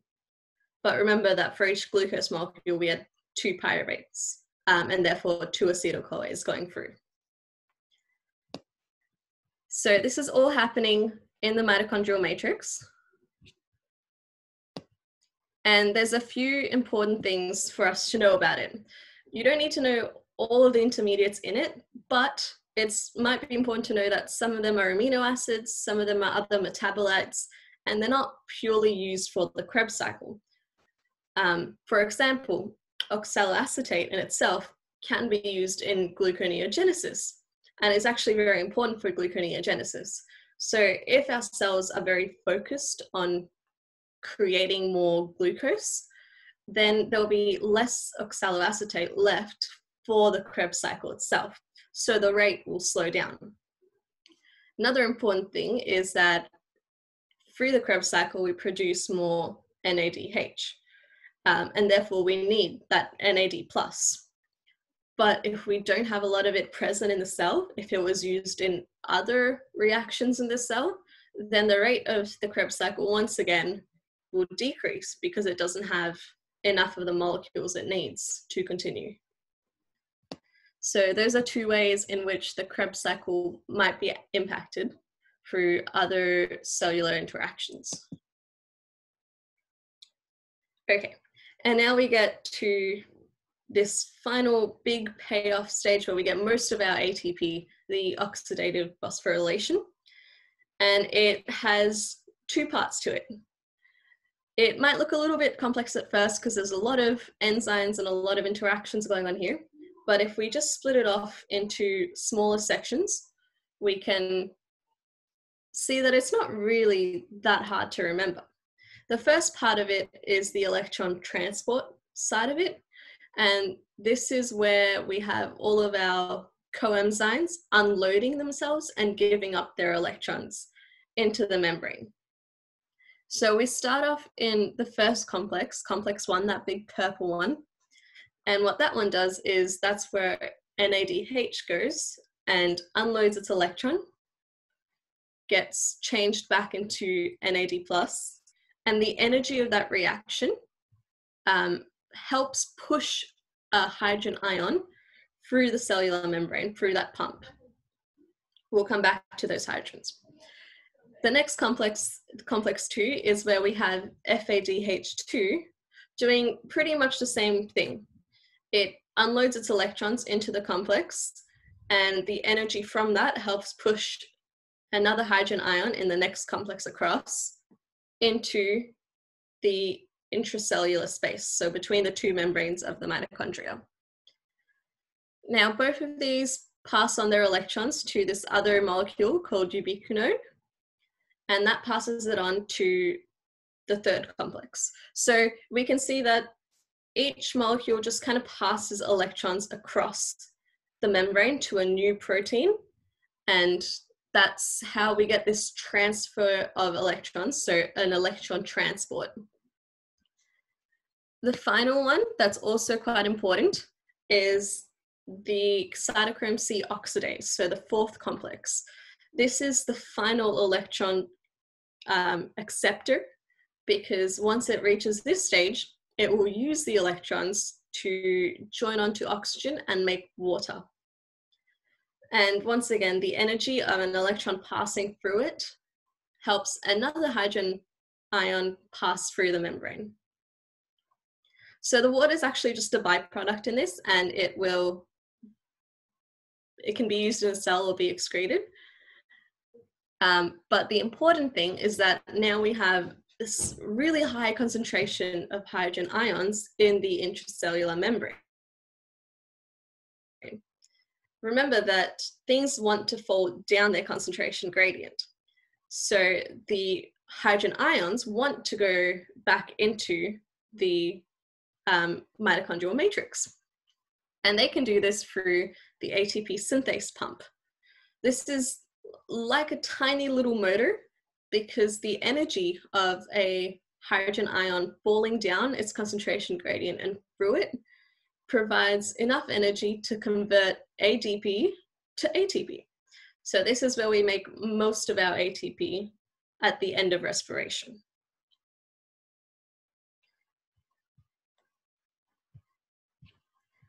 So if we want to take a look at where we made our energy from again, these are the four main steps of cellular respiration from glucose. Uh, we started with the glucose, broke it down in glycolysis, and that made our 2 ATP. Then we had the link reaction to convert it to acetyl-CoA. That's in the mitochondrial matrix. It didn't make any ATP, but we got that to NADH. The Krebs cycle is where most of the NADH was made. And finally, we go into that electron transfer chain and the ATP synthase converting the energy from the hydrogens into ATP, and we get a large amount of it. So, as a little guide, um, roughly for every NADH molecule, we get two ATP, 2.5 ATP molecules. And for each FADH2, we get 1.5 ATP molecules. So that's how we can work out these numbers. And we've seen that in total, we get about 32 ATP. Now, in real life, this number does vary a little bit, but for the purpose of textbooks and multiple choice, that's a good number to go by. Are we all happy so far? Yeah? Okay. Um, so I'll just maybe skip these questions in the interest of time. But the answers are there and I'll post make sure to post the answers as well. But we'll move on to lipids because this is a pretty big content uh, and we want to get enough time to go through it. So just a bit of revision, we have three main types of lipids and we can see that two of them, the triglycerols and the phospholipids, are made of fatty acids as well as a glycerol molecule. So fatty acids are pretty important for our body and for metabolism. We can, they could be saturated, which means that there's no bonds in them, uh, no double bonds in them, or they can be unsaturated, which means they do have double bonds in them. And this double bond makes it have a little kink in its structure, so it actually bends it. And because there's a little kink, we can recognize which fatty acids are unsaturated because they're usually liquid at room temperature. We can make fatty acids in our body. However, there are a few that we can't make ourselves. And these are essential fatty acids. So they're polyunsaturated and we can't just synthesize them ourselves. Therefore, we need to get them in our diet. Two main types that you might have heard of were omega 3 and omega 6, which we get from fish oils. And they're pretty important precursors for eicosanoids, which are kind of signaling molecule, and also for cell membranes. But there are other types of fatty acids as well. So the way we get energy out of fatty acids. Um, in the previous lecture, you saw that fatty acids actually have a, well, lipids in general have a very high energy content. And that's because you produce a lot of NADH in this step, beta oxidation, as well as the Krebs cycle. So remember that acetyl-CoA is what actually enters the Krebs cycle and we need to produce it from the fatty acids somehow. And we do this through beta oxidation. In this process, we slowly cleave off two carbons at a time from a long carbon chain, and those two carbons will be turned into acetyl-CoAs. So if we have a carbon chain that was 16 molecules long, for example, we would get eight acetyl-CoAs out of it. And for each step, when we're cleaving two carbons off, we also get one NADH and one FADH2. It's just important to remember that if we do have 16 carbon molecules, we actually only cleave off the two carbons seven times because the last time you would have been left with just two left over. So that's why a good way to remember it is however long your carbon molecule chain is, you will get one less um, NADH then you get acetyl CoAs. Does that make sense? Okay, and all of these acetyl CoAs can go into the Krebs cycle if we want to produce energy. So on top of this process, we're getting even more uh, even more energy at the end from the electron transport chain. Oh, I got a question. Um, oh, sorry. Yes, the NADH in the inbox is a typo. It's supposed to be NAD plus. I will fix that before I put the final slides up. Thanks for pointing that out.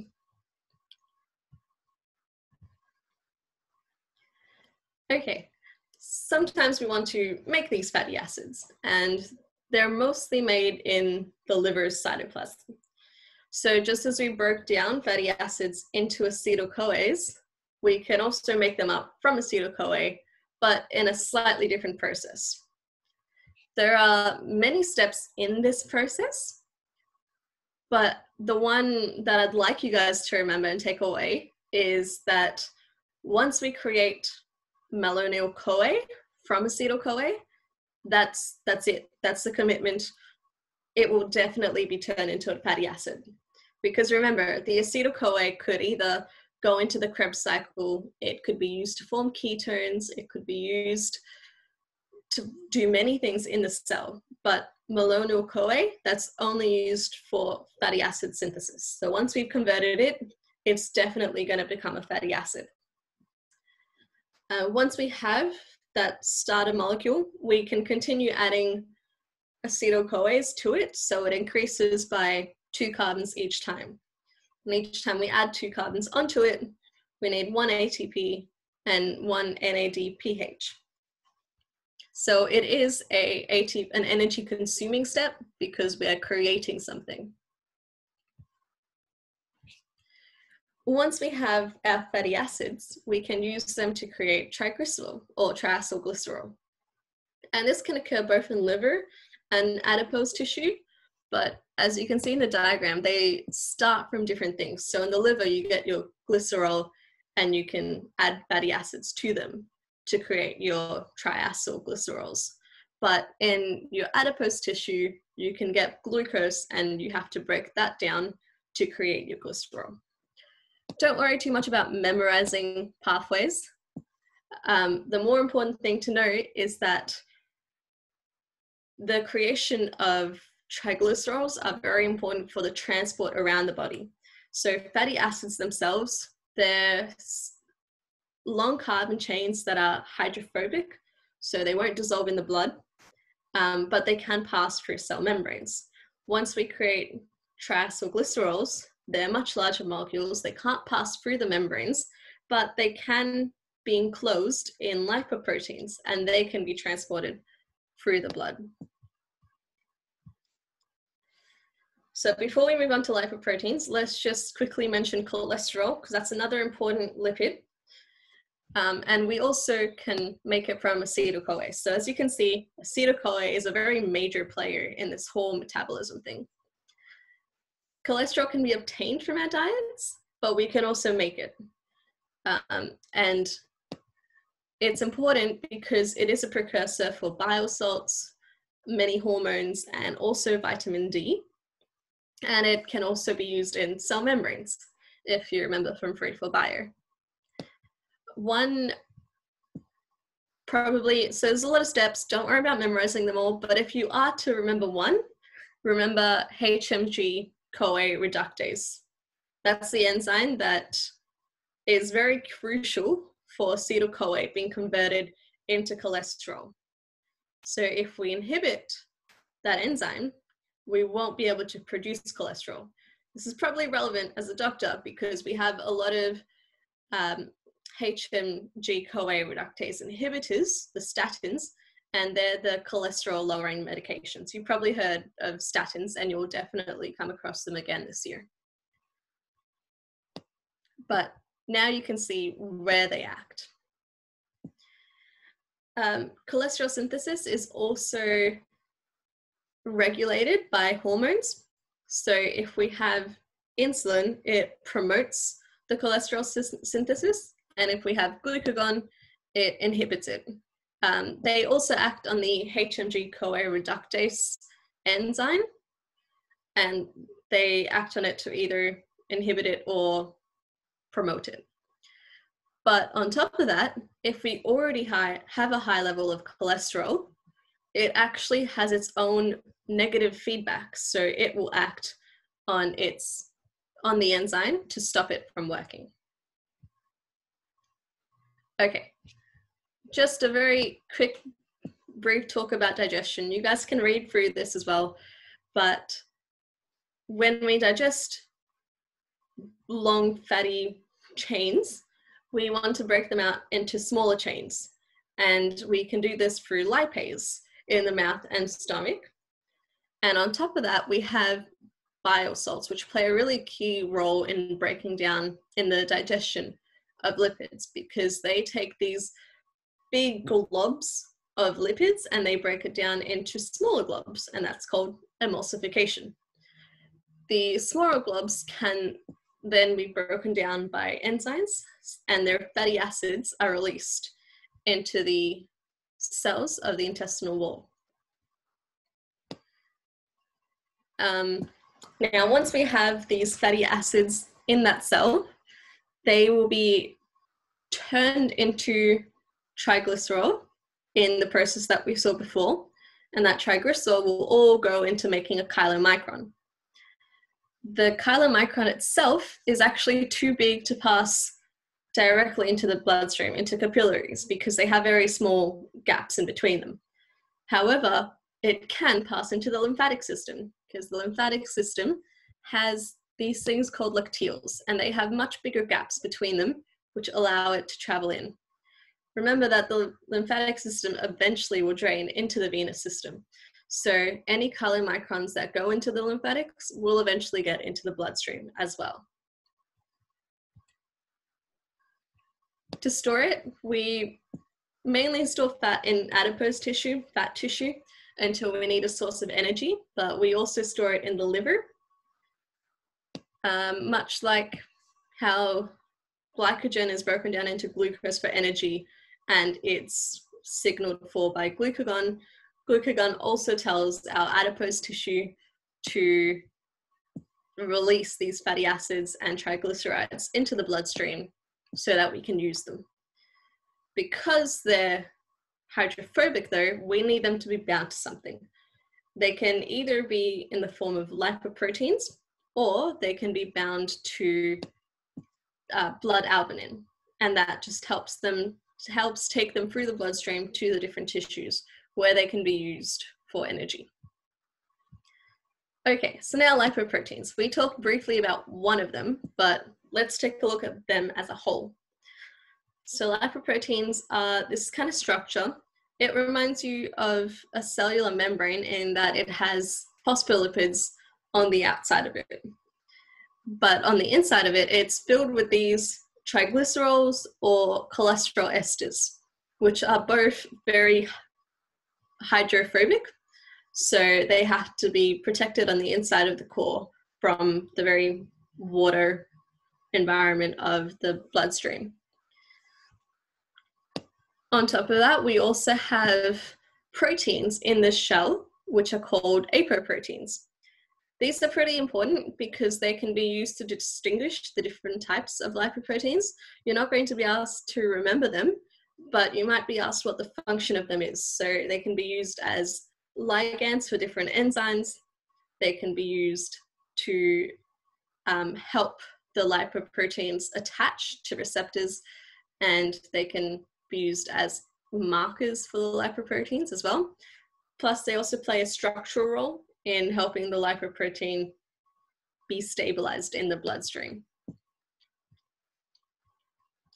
So we have four main types of lipoproteins, and I'll let you read them in your own time, but mainly just know chylomicrons, they contain all your dietary lipids that we got from eating fatty foods.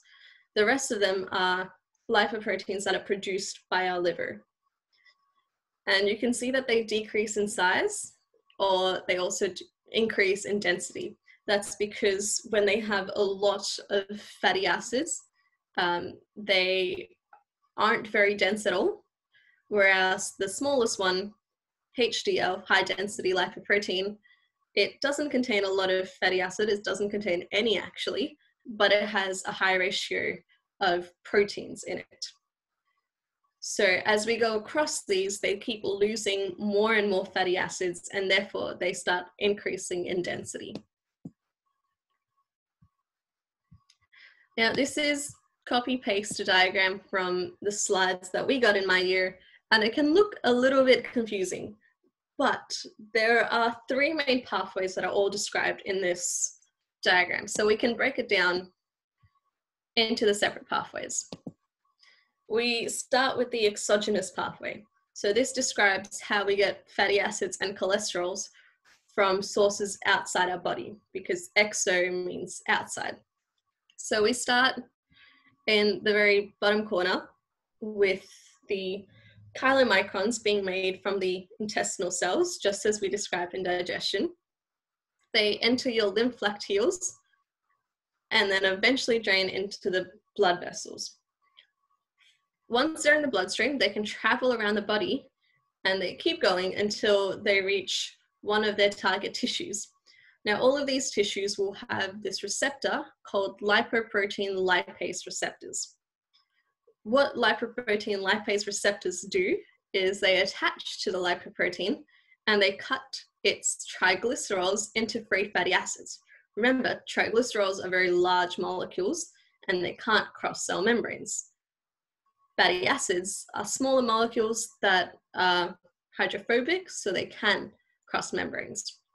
So this receptor is found on the outside of the cells. It helps produce free fatty acids from the contents of that lipoprotein, which can then enter cells such as skeletal muscles where can, they can be used for energy, or adipose tissue where they could just be stored. Once this happens enough times, what we get left over with is this little thing called a chylomicron remnant. That's no longer useful for us because it's given up most of its fatty acids. So it just travels back to liver where it attaches to another receptor, this time called an LDL receptor, and it's taken up by the liver, where everything that it had inside it, such as the cholesterol it had left, is recycled. Let's talk a little bit about LDL receptors. So LDL receptors, as the name would suggest, take attach to LDLs and take them up into the cell. But it actually can also recognize the apoproteins on other lipoproteins such as chylomicrons and VLDLs or IDLs. So it can, its main role is just to take up what's left over and take it back into the liver where it can be recycled. If you look at the diagram, you can see that when it's been taken up, the receptors are taken up with the protein as well, the lipoprotein. So the receptors can either get recycled and sent back to the cellular membrane or broken down. Another way of making the receptors is by producing them inside the cell. And there's a few things that regulate how much we have. I'd say this is pretty important to know how we regulate the synthesis of LDL receptors. So they work through a feedback loop where if we already have a high amount of cholesterol inside our cells, the synthesis of these receptors will be inhibited. But if we need more cholesterol, the synthesis will be increased. And if we have more of them on the cell membrane, then we'll be able to take in more lipoproteins, uh, attached to more lipoproteins. If this process doesn't work correctly, if there are issues, that's when we get diseases and in particular cardiovascular disease because we'll have all of this cholesterol in the bloodstream, for example, and not enough LDL receptors taking it inside the cell to be broken down or excreted. And if we have a high level of cholesterol in our bloodstream, it can lead to atherosclerosis. But we'll come back to that in a minute. Let's go back to our pathways. Now we have a bunch of cholesterol inside our liver and we could excrete it, but we might want to repackage it and send it around the body again. We do this through VLDL lipo, um, lipoproteins. Uh, in this case, they're very low density, so they also contain a lot of triglycerols and fatty acids, and these are made by the liver itself. So they're made by the liver, they're excreted into the bloodstream, then they travel around the bloodstream much in the same way as chylomicrons until they reach their target tissue. They also bind to uh, LPL receptors again, just like the chylomicrons, and they release their fatty acids. In this case, as they start releasing more and more fatty acids, they decrease in density. So they become intermediate density lipoproteins, and eventually they become LDLs. By the time they've reached LDLs, they're mostly just made up of cholesterol esters on the inside and not so much triglycerols. The role of LDL is mainly just to transport cholesterol to different tissues or to give it back to the liver. So the completion of this pathway should end with the LDLs binding back to an LDL receptor on the liver and being taken up. What else might happen though is if there's too many, they get taken up by macrophages instead. And when this happens, if the macrophage has a limit to how much it can digest, if the limit is reached, it will turn into a foam cell instead and become pretty much useless. But it's bad in a way because if we accumulate too many foam cells, they can lead to developing plaques on our arteries. So we need a way to make sure we don't have too much cholesterol in our body. And this is the third and final pathway in this whole process, which is called reverse cholesterol transport. This is where HDLs come in. Once again, it starts with the liver. The liver makes the HDL, releases it into the bloodstream, and that travels around. If it reaches a tissue that has too much cholesterol, the HDL can actually take up this cholesterol. Or if it reaches a foam cell or a macrophage, it can take up some of its cholesterol and relieve it of this excessive amount of cholesterol. There's one other little step that happens inside a HDL, which is that tissues will give out cholesterol, but the HDL actually transports it as cholesterol esters because these are much better to pack because they're they can be packed more densely in the middle of the HDL. So we have this enzyme called LCAT, and it just converts cholesterol to cholesterol esters on the HDL. Once the HDL has filled up with enough cholesterol esters, it will be recognized by a receptor in the liver and it will be taken up. So the cholesterol that it has can be excreted or reused in the body. These tend to be known as the good cholesterol because it the good lipoproteins because it takes up cholesterol so it protects us from cardiovascular disease. Now, if you put those three pathways together again, we had the exogenous one, which dealt with all the lipids that we got from our diet, the endogenous one, which was reusing the stores of lipids that we had, and the reverse cholesterol transport, which was using HDLs to mop up this excess cholesterol. We get this whole pathway, and now hopefully it doesn't seem as intimidating anymore. And it looks very much like this diagram that we had before. Okay, a quick mention on atherosclerosis. There's a lot of research that can be done into this, but briefly to what's relevant for us is that once we have macrophages that have taken up too much lipoproteins, LDLs, and cholesterol, they can't do their job anymore because they're so full. And they have this kind of foamy appearance, so we call them foam cells. Over time, they can get lodged in the walls of arteries. And when we get too many of them, we get this plaque being built up. So it's this big kind of bulge that you see there that causes inflammation because we have cell death and it's a necrotic core. It's probably not good. As it builds up, the bigger it gets, the more it starts narrowing arteries and eventually it can even rupture and release a thrombus.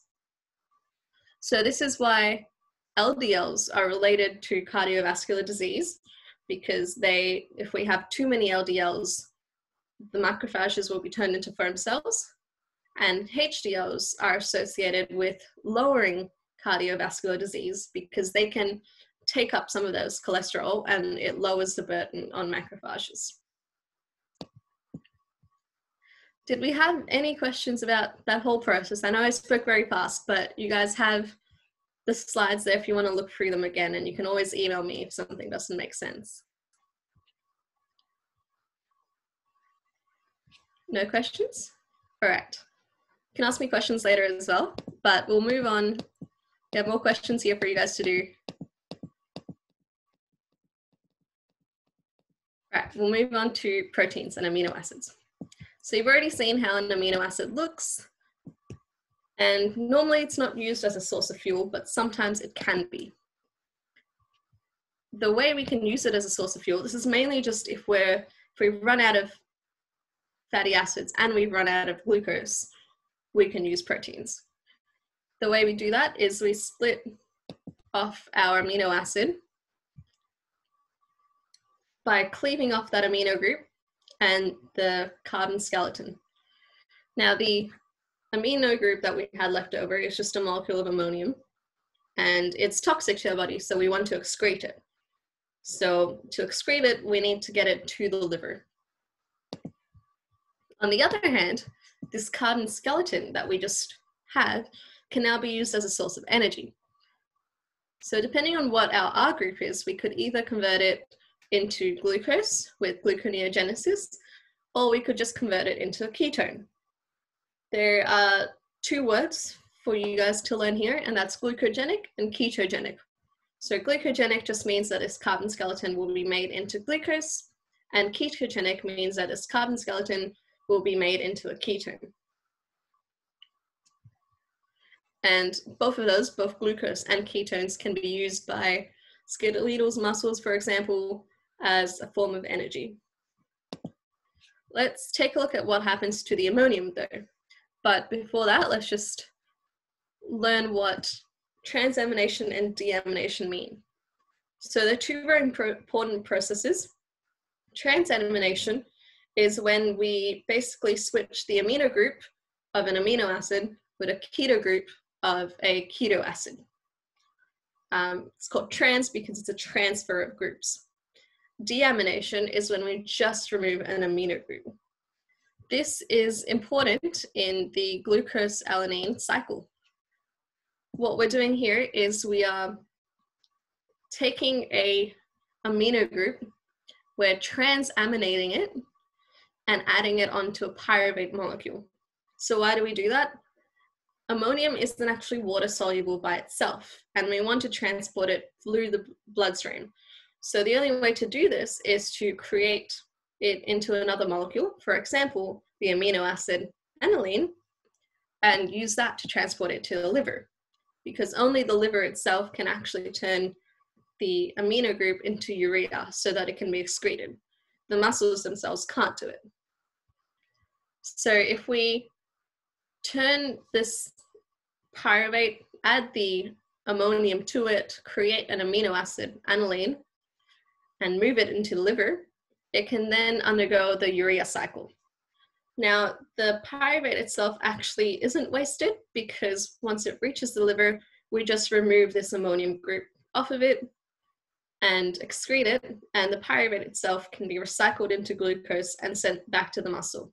So the cycle just repeats and it doesn't actually use up or you lose any glucose. Therefore, it happens when we have very low blood glucose levels. To actually excrete the ammonia, we go through the urea cycle. So this happens in the liver. And because we want to excrete urea um, ammonium in our urine in the kidneys, we need to make it water soluble first. So that's the purpose of the urea cycle.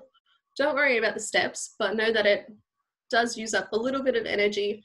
It happens in the liver, and by the end of it, we produce urea, which is water soluble. Are we happy with the proteins? Did we have any questions about proteins?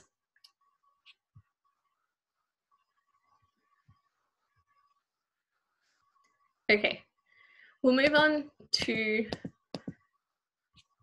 tissue metabolism, or alcohol metabolism first. This is just a brief, a few brief points about alcohol metabolism. There's two pathways in this in which this can occur in our cells. In a normal person, not an alcoholic, the main pathway will be the one with the green arrows, and it's in the liver. So there's two enzymes that we need to learn for this, and they're alcohol dehydrogenase and aldehyde dehydrogenase. Ethanol from the alcohol can be turned into acetaldehyde and eventually acetyl-CoA. We don't want to leave it as acetaldehyde though, because that's a very toxic molecule. So we want to turn it into acetyl-CoA, which, as we know, can be used for so many things in the liver. Unfortunately, what we can also see is that when this process occurs, we start building up more NADH. Now, keep that in mind. Have a think about what might actually happen if we have too much NADH in our body.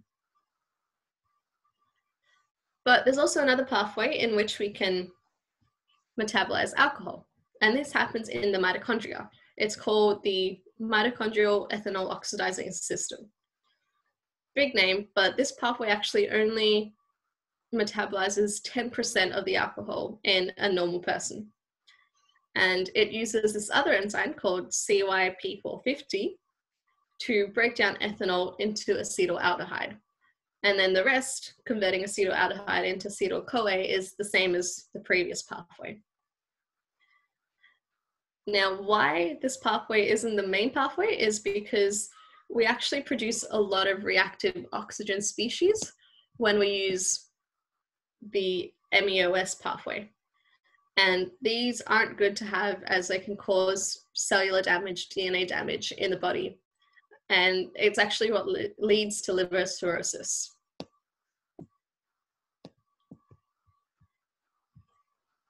So if we look at all the effects of alcohol, we'll start with the buildup of NADH. Now, if we have too much NADH, we want we normally want to have a balance between NADH and NAD plus in our body. So if we have too much NADH, we want to convert it back to NAD plus. If you guys remember, fermentation of pyruvate actually converted the NADH back to NAD plus. So in situations where we've just metabolized a lot of alcohol and we have a really large concentration of NADH, our pyruvates will want to produce lactic acid instead of acetyl CoA, even if we have oxygen. So lactic acid is favored. This is what leads to lactic acidosis and hyperglycemia as well, because all that pyruvate's been used up to make lactic acid. And that's why it's one of the things that we can see in patients who come in with alcohol overdose. Another one is its effects on the Krebs cycle. So once again, this is due to the metabolism of alcohol using up NAD plus and making NADH.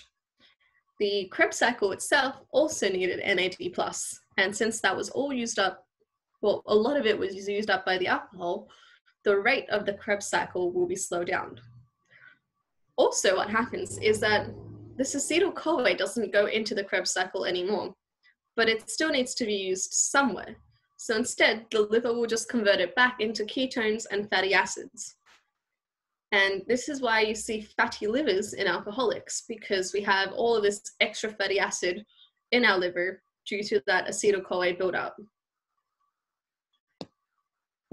Lastly, a very important one for doctors is the enzyme that was used in the MEOS, cytochrome P450, because not only is it used to metabolize alcohol, it's also used to metabolize various other drugs. And um, if we give a patient a medication that uses this enzyme, but then our patient just went and drank a lot of alcohol,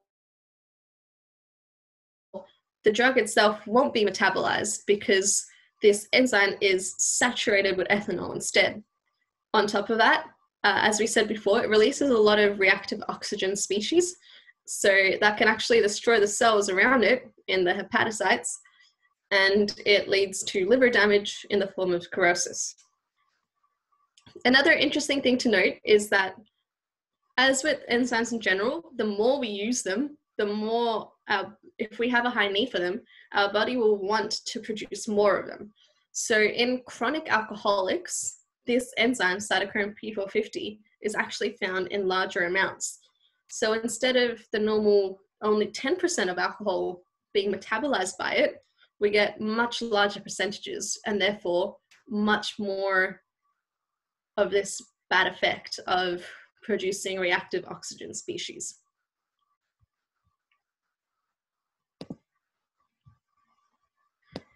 So I'll have some more questions for you, but we have two more important things to go through. So we'll skip the questions for now. And feel free to message me at any time in the chat if I'm going too fast to slow down. But we'll move on to tissue metabolism. So we'll look at it in two cases. Firstly, the fed state is if you've eaten enough, so you have enough fatty acids, you have enough glucose, you don't have to worry about breaking, breaking down proteins for energy. In this case, the heart will mainly use fatty acids for energy because remember, they take a while to break down, but once you do, you produce a lot of energy out of them. It can also use glucose and ketones, but it will not do anaerobic respiration because the byproduct of that is lactic acid. And we definitely don't want to have lactic acid in our heart. So it's strictly only aerobic respiration in this. The heart can use all of these molecules for, yep, we have a question. Oh no, yeah. Um, okay, so the heart cannot store any of these molecules, but it will use them up. So it needs a constant supply through the bloodstream. The next one is skeletal muscles. So this can use aerobic or anaerobic respiration, and it uses the same thing. So fatty acids when it's resting, but also glucose when it needs more energy. This one can also use creatine phosphate, and that's when it gets bursts of energy because creatine phosphate is a little molecule and it just needs one step to produce ATP, but it will only produce one ATP. So it's not used frequently, but if you need a lot of energy very fast, that's what we want to use. Now, adipose tissue, it's made up, it's where we store all, all our, our lipids. So while we've already, if we just ate, the main thing it will want to do is produce triglycerides to store them for later. The brain uses glucose and it needs a constant supply of glucose because it can't store it. But the only two molecules that can actually cross the blood brain barrier that can be used for fuel are glucose and ketones.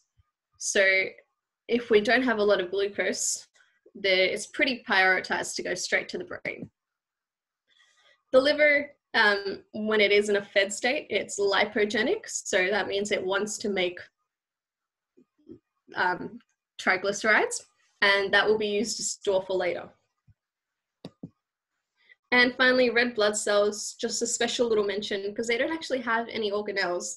So the only thing they can use is uh, glucose in anaerobic respiration.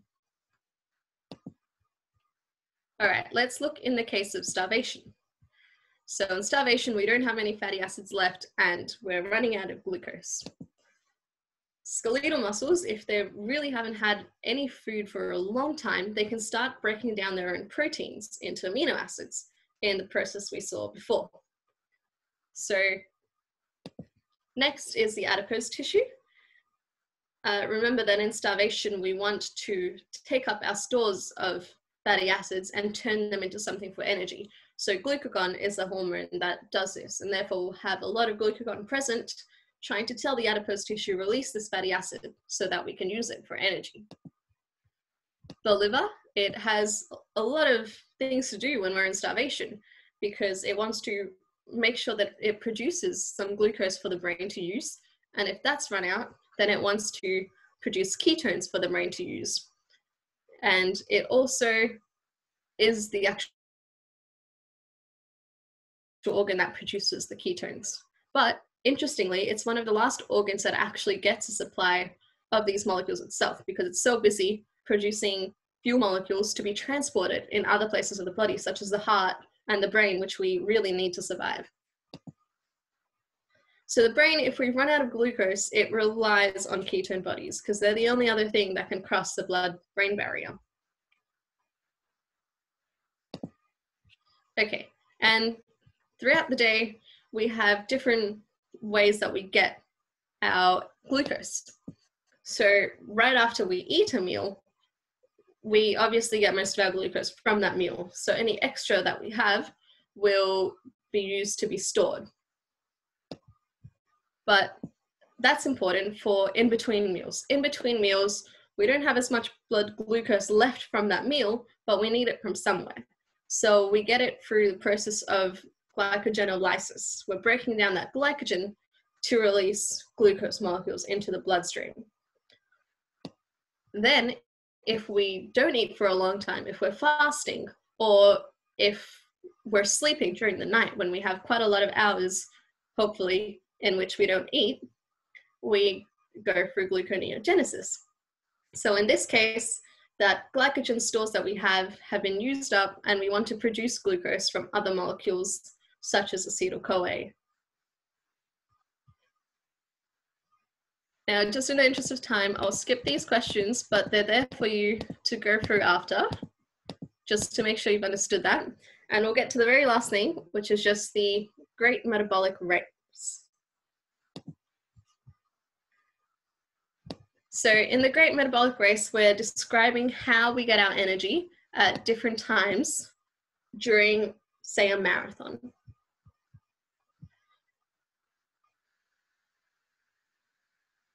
As we said before, when we're at rest, our main energy source is fatty acids because they are big, even though they take a long time to break down, they give us a lot of energy. So they're very energy dense, and we normally have a lot of them.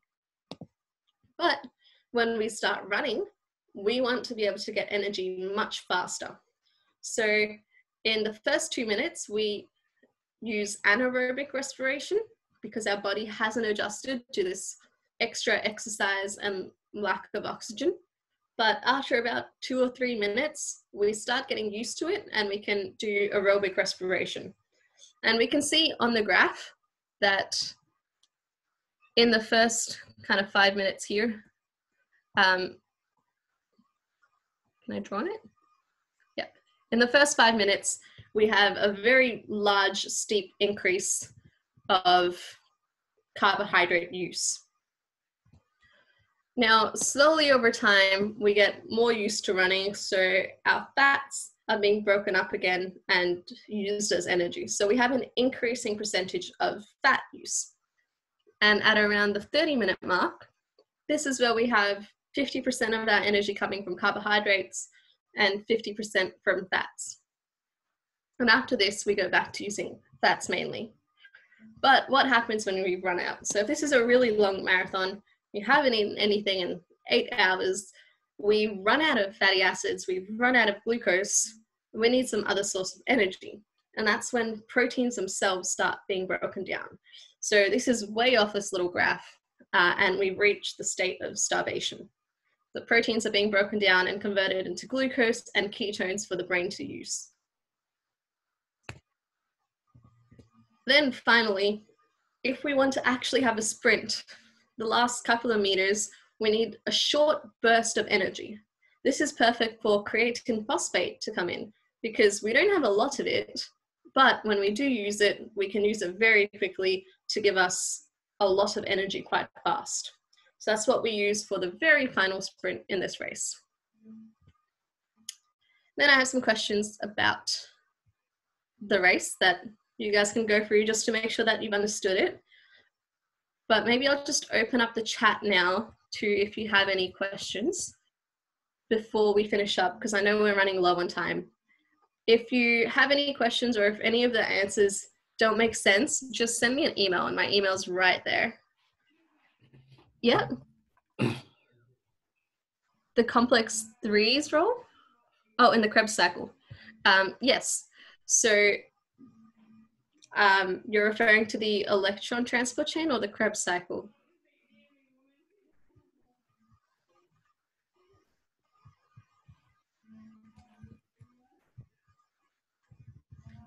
Let me go back to it. Oh, the electron transport chain. Okay, great. So uh, complex three role is once again, there's no, so the NADH went to complex one, FADH went to complex two to release its electrons, and they pass through complex three. Complex three is another proton pump, so it just pumps the hydrogen ions out of the mitochondrial matrix and into the inter, mem- um, membrane space. Does that make sense?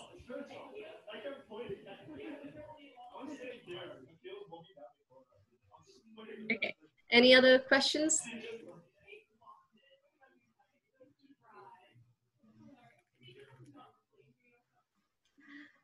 Yes, the Krebs cycle is the same as the acetic acid cycle. They're just different names for the same process. I think it's named after some guy called Krebs.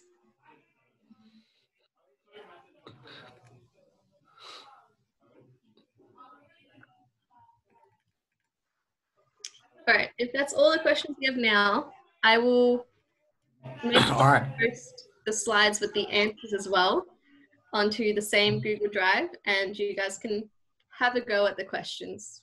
Let me know how you go. Yeah. But good luck to everyone. Hope this makes a little bit more sense now. Thank you so much, Angie. that was a great presentation. Um, again, all the slides are, will be uploaded in the MUMUS Drive. Um, I think I'll also post a recording of all the lectures by tomorrow night.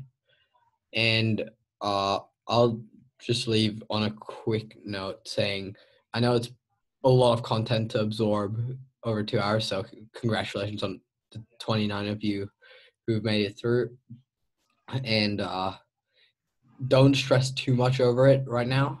Uh, you'll a lot of this content will get reviewed, and you'll also uh, by the time you get to like second year and stuff like that, you'll understand a lot of it a lot better. And the first semester can be a bit slow, a bit rough, especially when you haven't met other people. So if you ever have any problems, feel free to contact me or anything. And uh, until then, I'll just close up this Zoom meeting and I'll hope you guys have a great Sunday. Um, also, bookmark the MUMUS Drive. I'll post the link as well to that with the recording. All right. You later. Thank you guys so much.